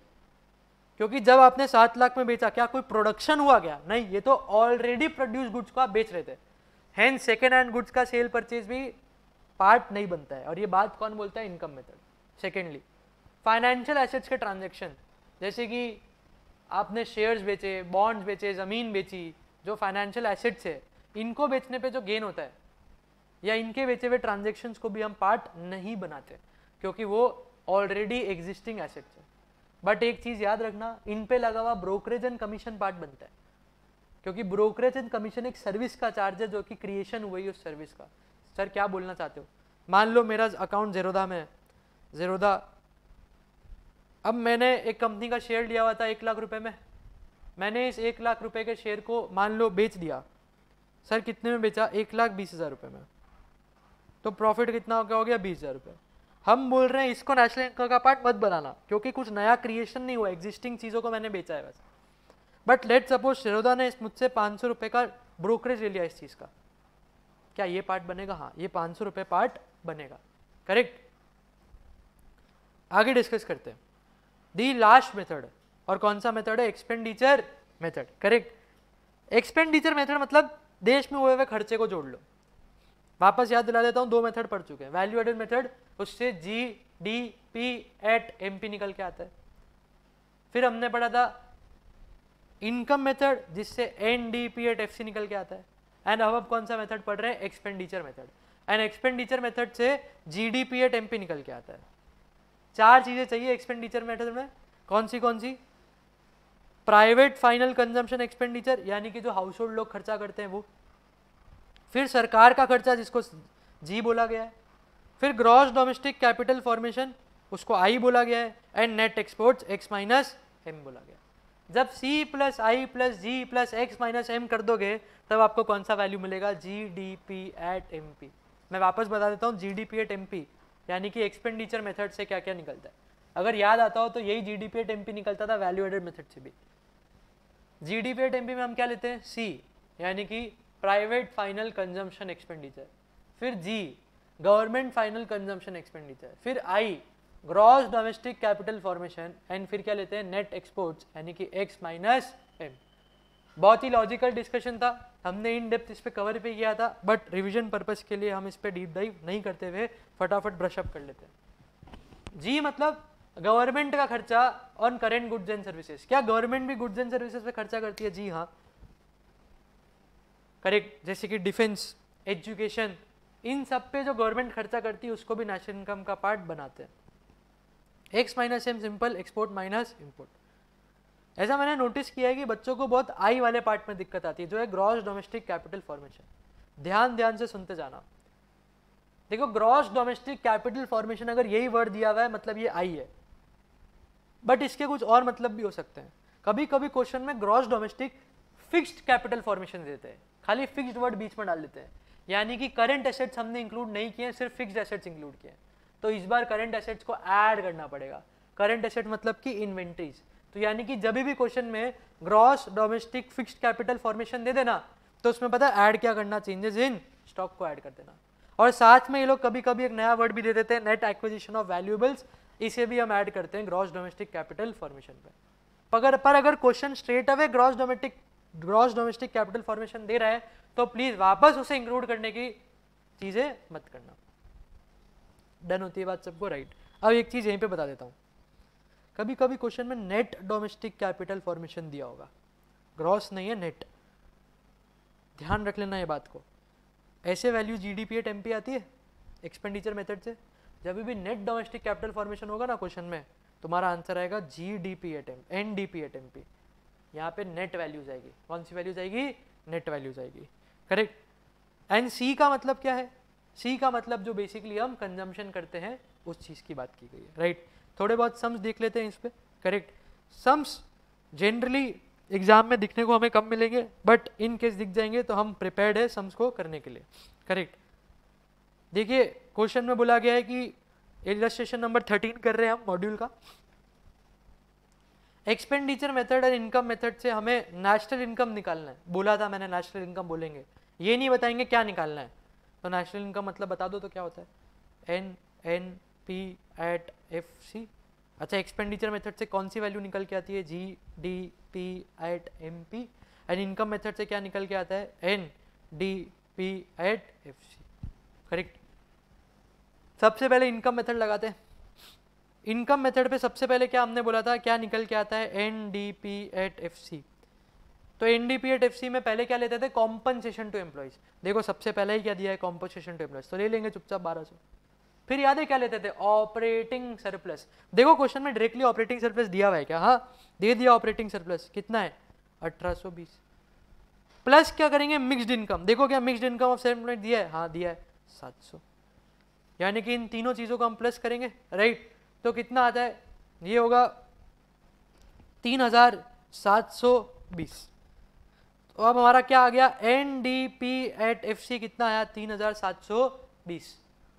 बस क्या रुक जाएँगे ये आ गया फाइनल आंसर हमारा। नहीं, हमें क्या निकालना है? N N P at F C देखो एफ़ सी से एफ़ सी पे जाना है, कुछ नहीं करेंगे। एन से एन पे जाना है, कुछ नहीं करेंगे। डोमेस्टिक से नेशनल पे जाना है, बताइए क्या करते हैं? प्लस करेंगे एन एफ़ आई ए को। प्लस करेंगे एन एफ़ आई ए को। देखो N F I A question में दे दिया। तो प्लस ट्वेंटी हेंस आंसर कितना आएगा? थ्री सेवन फोर डन होती है बात सबको राइट नेक्स्ट एक्सपेंडिचर मेथड चलिए एक्सपेंडिचर मेथड सॉल्व करते हैं। सबसे पहला क्या था? प्राइवेट फाइनल कंजम्पशन एक्सपेंडिचर देखो कितना है? 2000 एक बात बताओ, कौन सी वैल्यू निकल के आती है? G D P at M P correct तो सबसे पहले प्राइवेट फाइनल कंजम्पशन एक्सपेंडिचर कितना दिया हुआ है? 2000 तो चुपचाप ले लेते हैं 2000 फिर क्या वैल्यूज़ है? Government final consumption expenditure. देखो क्या दिया हुआ है क्या? Government final consumption expenditure. हाँ दे दिया। कितना है? 1100 तो ले जाते हैं 1100 फिर हमें क्या दिया हुआ है? हमको क्या चाहिए? Gross domestic capital formation. देखो, खतरे की घंटी। यहाँ पे क्या बोला है? Net domestic capital formation. क्या बोला है? Net domestic capital formation. कितना दिया हुआ है? सात सौ सत्तर। तो एक चीज़ हमें चेंज करनी पड़ेगी। समझदार हो तो समझ गए होगे। क्या कि यहाँ पे ग्रॉस वैल्यूज़ नहीं आएगी, यहाँ पे N D P at M P आएगा। क्यों N D P at M P आएगा? क्योंकि यहाँ पे हम नेट वर्ड यूज़ कर रहे हैं। एंड लास्ट क्या था? एक्सपोर्ट माइनस इम्पोर्ट यानी कि नेट एक्सपोर्ट्स देखो, बैठा का बैठा वैल्यू दे दी थर्टी तो प्लस कितना करेंगे? थर्टी बताइए, कितना वैल्यू आता है? आठ सौ, उन्नीस सौ, तीन हज़ार, नौ सौ। हेंस हमारा N D P at M P कितना आया है? तीन हज़ार नौ सौ का हमारा N D P at M P आ चुका क्या डन होती है बात सबको? बोलो हाँ या ना? राइट नेक्स्ट क्या रुक जाए यहाँ पे? क्या निकालना है? N N P at F C क्या निकालना है? N N P at F C कैसे निकालेंगे सर डोमेस्ट नेट से नेट पे जाना है, कुछ करेंगे क्या? नहीं. डोमेस्टिक से नेशनल पे जाना है, यानी कि प्लस करेंगे एन एफ़ आई बताइए एन एफ़ आई कितना था क्वेश्चन में? ट्वेंटी का. मार्केट प्राइस से फैक्टर कॉस्ट पे जाना है। यानी कि माइनस करेंगे एन आई टी को। एन आई टी कितना है? ढूंढिए। ये रहा एन आई टी माइनस करेंगे एक सौ बीस को। तो हेंस हमारा आंसर कितना आएगा? अड़तीस सौ। चेक कर लेते हैं एक बार। एक्सपेंडिचर मेथड से अड़तीस सौ इनकम मेथड से दोनों से आंसर हमारा ठीक ही आया है। एक बात मैं अभी बता देता हूँ। तीनों मेथड से आंसर सेम आता है। इस क्वेश्चन में एरर है। इस चक्कर में इन दोनों मेथड से आंसर अलग अलग आ रहा है। बट तीनों ही मेथड से आंसर सेम ही आता है। क्या रियल लाइफ में भी ऐसा होता है? नहीं। Due to existence of black money real life में आंसर सेम नहीं आएगा. बट थियोरिटिकली आंसर सेम आना चाहिए. इस क्वेश्चन में आंसर सेम आना चाहिए था बट आंसर सेम नहीं आ रहा है. क्या डन होती है बात सबको? एक सम वैल्यूएटेड मेथड का भी देख लेते हैं, ताकि हमारा एक कॉम्प्रिहेंसिव कवरेज चीज़ों का हो जाएगा. बोला है नेशनल इनकम निकालो वैल्यू एडेड मेथड से तो नेशनल इनकम मतलब क्या होता है? इलस्ट्रेशन नाइन हम सॉल्व कर रहे हैं. नेशनल इनकम मतलब N N P at F C and value add method से कौन सी वैल्यू आती है? G D P at M P तो निकाल लेते हैं जी डी पी। याद है फॉर्मूला क्या था? Value of output minus intermediate consumption value of output क्या होता है? Sales plus changes in stock देखो सेल्स हमें दिया हुआ है। 700 तो ले लेते हैं 700 चेंजेस इन स्टॉक डायरेक्टली नहीं दिया हुआ, पर ओपनिंग और क्लोजिंग दिया हुआ है। क्या होता है? ओपनिंग माइनस क्लोजिंग या closing minus opening it is closing minus opening तो देखो 400 माइनस 500 क्या करेंगे? 400 माइनस 500 डन होती है बात, करेक्ट। 400 माइनस पाँच सौ किया। तो हमारा वैल्यू ऑफ़ आउटपुट लगभग कितना आ रहा है? 600 का वैल्यू ऑफ़ आउटपुट आ रहा है।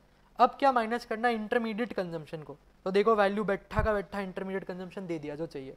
तो कितना ये? 350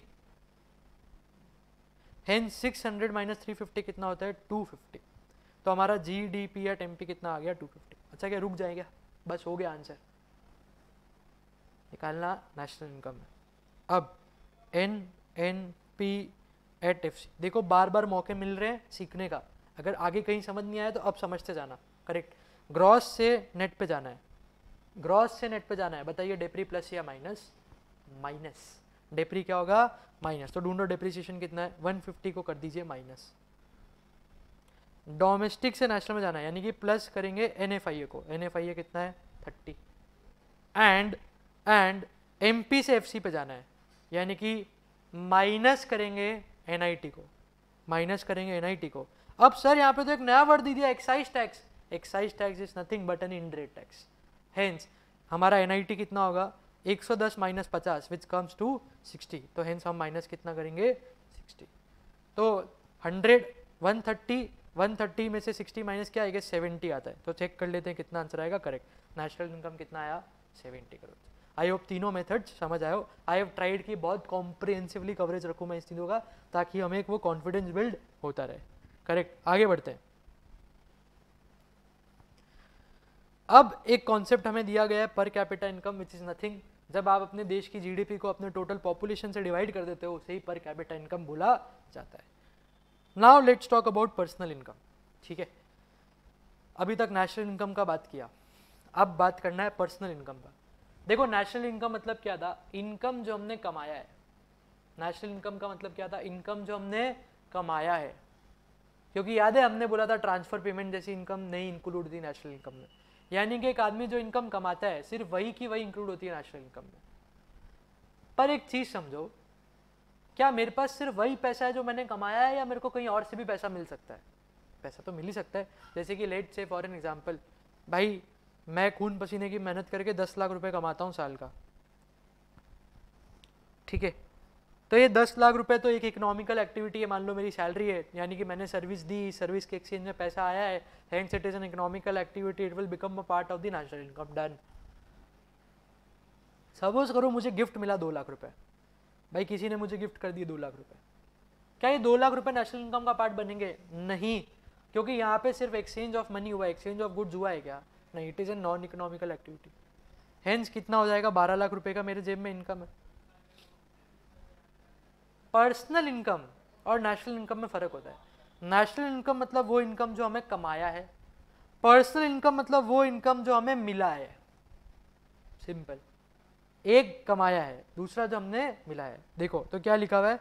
नेशनल इनकम मतलब इनकम अर्नड वो इनकम जो हमने कमाई है।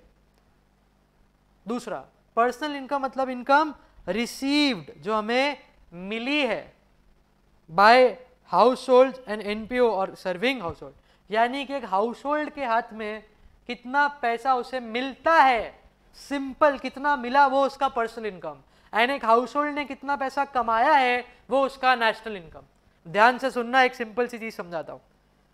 नेशनल इनकम में ऐसी भी इनकम होती है जो हमने कमाई तो होती है, पर हमें मिली नहीं होती।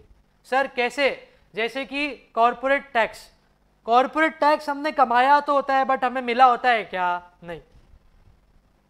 और नेशनल इनकम में ऐसी इनकम नहीं होती जो हमें मिली तो है बट हमने कमाई नहीं है। हेंस अगर पर्सनल इनकम से नेशनल इनकम की तरफ़ जाना है तो सिंपल सी बात है। नेशनल इनकम में से वो इनकम हटा दो, जो इनकम कमाई तो है बट मिली नहीं।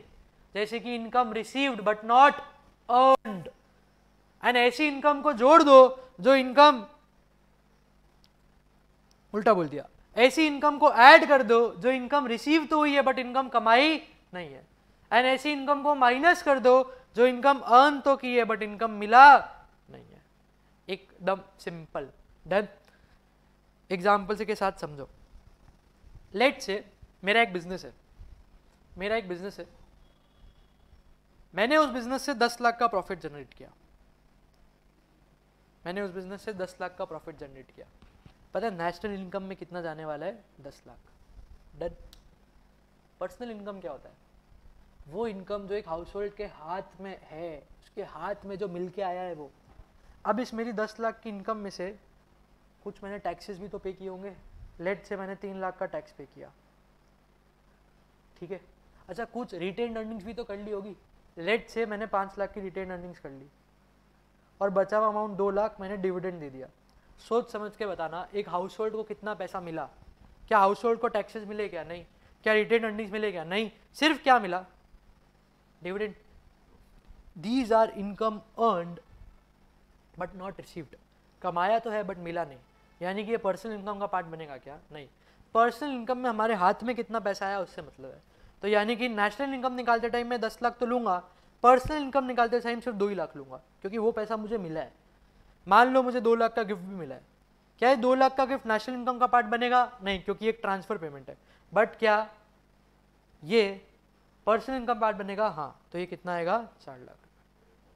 क्या बात डन होती है? तो देखो कुछ कुछ बताया हुआ है कि नेशनल इनकम में से हम सबसे पहले क्या माइनस करते हैं? कॉरपोरेट टैक्स क्यों?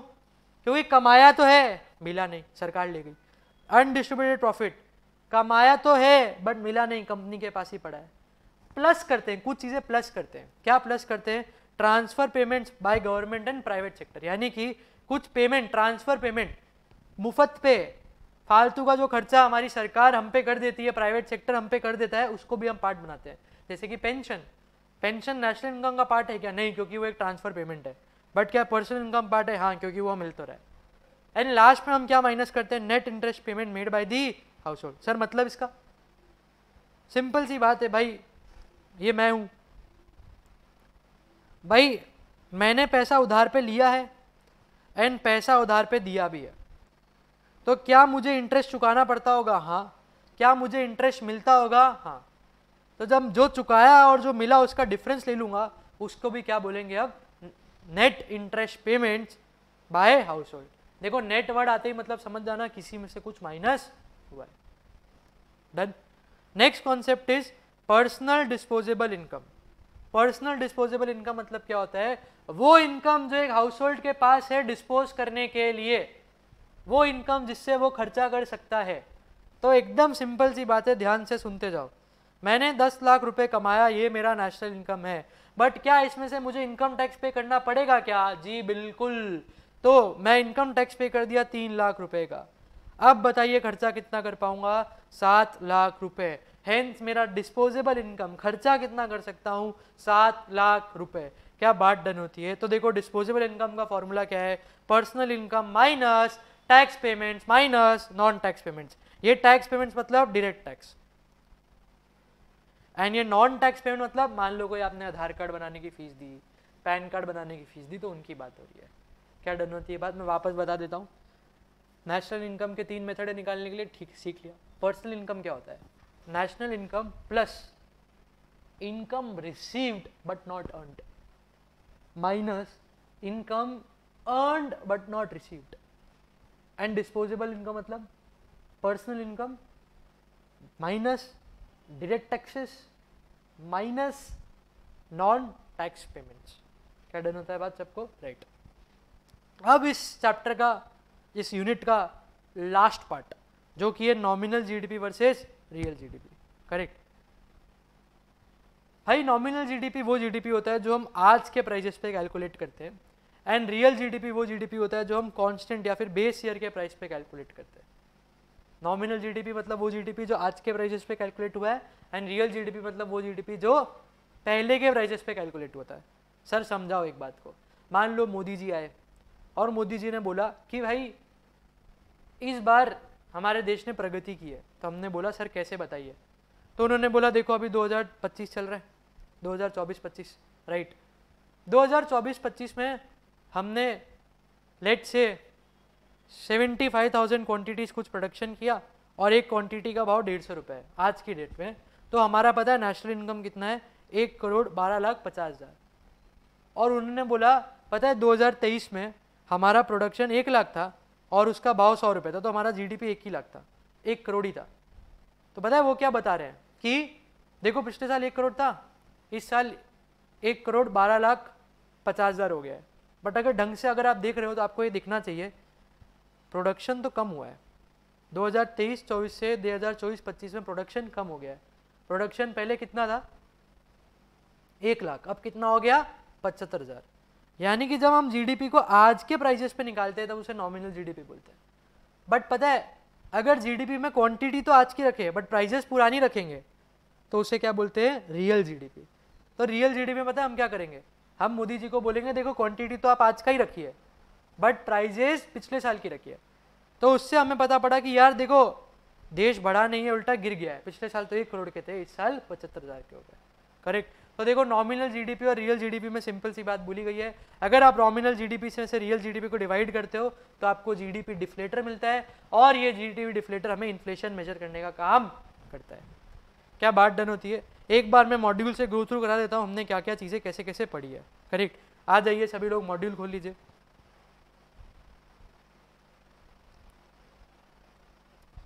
ये बात मैंने बता दी थी कि कौन कौन करता है। अब ये जो यूजफुलनेस सिग्निफिकेंस ये सब चीज़ें बहुत थियोरटिकल है। आप लोग एक बार पढ़ेंगे, आप समझ जाएँगे। इनफैक्ट एम भी सॉल्व करने जाओगे, आपको बातें समझ आ जाएगी। मैंने आपको नॉमिनल जीडीपी के बारे में बता दिया। जब जीडीपी को आज के प्राइजेस पे कैलकुलेट करते हैं, उसे नॉमिनल जीडीपी बोला जाता है। राइट जीडीपी नॉमिनल जीडीपी दो चीज़ों से अफेक्ट पड़ता है। एक प्रोडक्शन से, दूसरा प्राइजेस से। करेक्ट बट रियल जीडीपी को सिर्फ़ प्रोडक्शन से फ़र्क पड़ता है प्राइजेस से फ़र्क नहीं पड़ता है। ऐसा हमने कुछ पढ़ा था।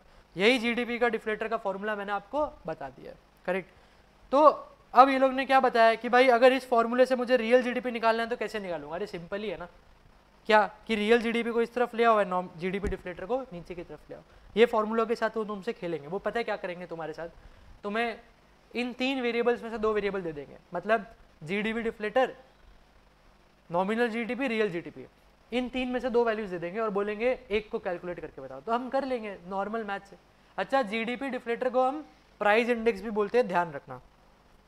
करेक्ट ये एक बेसिक सा फॉर्मूला है, आप देख लेना नथिंग मच इलस्ट्रेशन कर लीजिएगा। इन केस कोई डाउट आप लोग को आता है तो प्लीज़ कमेंट बॉक्स में मेंशन कर दीजिएगा। I'll reply to you guys correct ये सारी बातें मैंने आपको करा दिए हाँ। ये चीज़ एक बार याद रखेगा कि एनएफआय के कॉम्पोनेंट्स क्या क्या होते हैं? तीन कॉम्पोनेंट्स दिए हुए। पढ़ लीजिएगा गो थ्रू कर लीजिएगा, पता पड़ जाएगा नथिंग मच राइट ये सब चीज़ें जो भी दी गई है, हमने कवर की है। मैंने factor cost base price market price का भी डिफरेंस आप लोग को बता दिया था। मैं बस आप लोग को गो थ्रू करा रहा हूँ। इन केस अगर आपके पास नोट्स नहीं है मॉड्यूल है तो मैं बस बता रहा हूँ कि देखो, अगर आपने सुना भी है ध्यान से तो मॉड्यूल की हर चीज़ें मैंने आपको बता दी है। करेक्ट पर कैपिटल इनकम हम बात कर चुके हैं पर्सनल इनकम हम बात कर चुके हैं। वही जो फॉर्मूला दिया हुआ था income earn but not received and income earn income receive but not earn और वही सारे फॉर्मूला यहाँ पे भी लिख के दिए हुए पर्सनल इनकम का और concept and non tax payment हम डिस्कस कर चुके हैं। ये दो फॉर्मूला इंस्टीट्यूट ने और दिए हुए इन्हें रीड कर लीजिएगा और इन्हें गो थ्रू करके आगे बढ़ा दीजिएगा।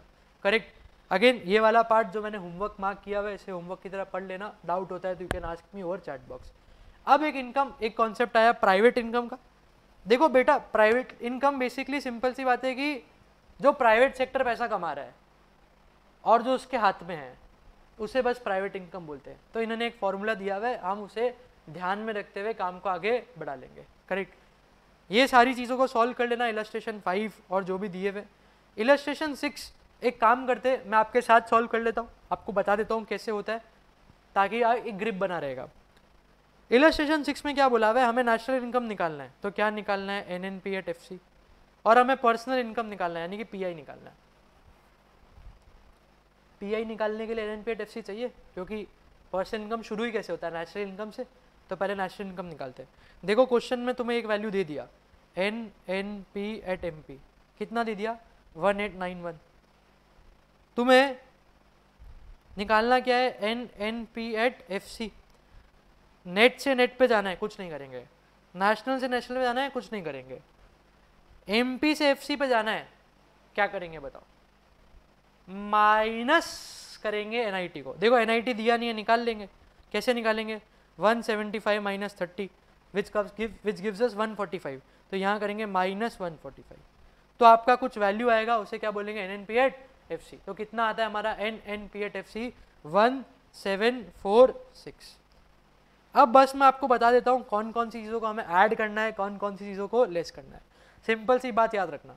नेशनल इनकम से पर्सनल इनकम निकालते टाइम जो भी इनकम रिसीव हुई है, बट कमाई नहीं है, income receive but not earn उसे ऐड करोगे। And income earn but not received, कमाई तो है बट मिली नहीं है, उसे माइनस करोगे।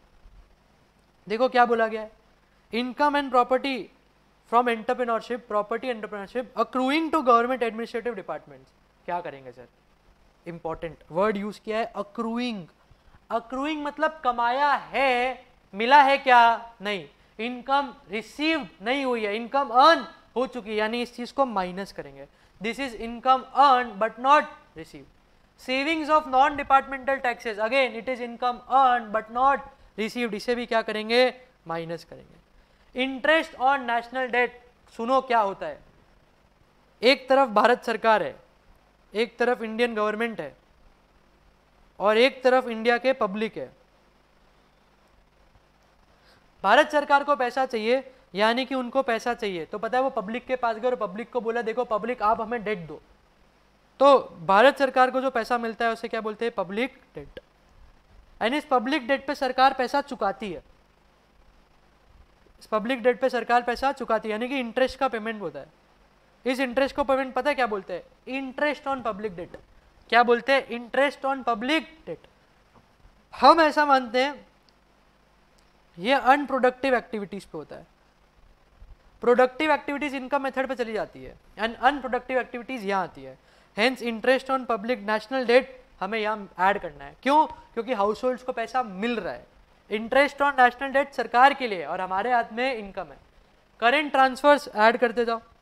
Saving of private sector minus कर दो क्योंकि हमें मिला नहीं है। एंड कॉर्पोरेट टैक्स भी माइनस कर देना क्योंकि हमें मिला नहीं है। हेंस अगर आप आंसर निकालोगे तो कितना आएगा? One seven double one correct आगे, ये सारी चीज़ें मैंने आपको बता दी गई है। अगेन ये एक नई बात इंस्टीट्यूट ने मॉड्यूल में ऐड की है। अगर आपको मेथड्स का कैलकुलेशन समझ आया होगा तो ये चीज़ को पढ़ लेना। नथिंग मच आप पढ़ते ही समझ जाओगे कि क्या बात बोली गई है। ये सारी बातें मैं आपको बता चुका हूँ मेथड्स में से क्या क्या कैलकुलेट होता है कौन सी वैल्यूज़ कहाँ से आती है क्या क्या चीज़ें इनकम मेथड एक्सपेंडिचर मेथड पे होता है राइट आ जाइए पेज नंबर 6.20 पे। देखो, समझो मैं अभी क्या कर रहा हूँ। मैं पूरा समेट के तुम्हें दे रहा हूँ। प्रोबेबली डेढ़ घंटा हो गया है हमें पढ़ते हुए।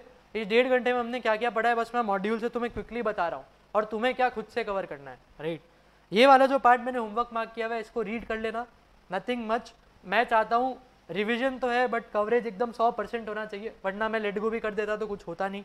बट मैं तुम्हें बता रहा हूँ कि अगर तुम ये वीडियो देख रहे हो यूनिट वन इस वीडियो के बाद तुम्हारा हो जाना चाहिए। और क्या क्या तुम्हें खुद से करना है, वो तुम्हें पता होना चाहिए राइट सम्स हमने थोड़े बहुत देख के सॉल्व कर लिए थे। आई विल सजेस्ट सारे ही इलस्ट्रेशन कर लेना। कहीं कोई डाउट आता है chat box again chat box में लिखेगा, मैं बता दूँगा। करेक्ट यहाँ से पूरा आगे तक का चैप्टर रीड बोर्ड पे। उसको पढ़ लीजिएगा, कुछ भी नहीं है, एकदम आसान है। पढ़ के निपटा दीजिएगा, खत्म हो जाएगा। क्या डन होती है बात सबको राइट आई होप समझ आया हो। दिस वॉज़ यूनिट वन ये यूनिट वन था। आई हैव ट्राइड एक्सॉस्टिवली मैं हर चीज़ को कवर करूँ। करेक्ट अगर आपको कुछ भी डाउट रहते हैं, या समझ आता है डू लेटस नो कि कैसा लगता है। यूनिट टू अब हम इसके बाद स्टार्ट करने वाले हैं। Thank you so much everyone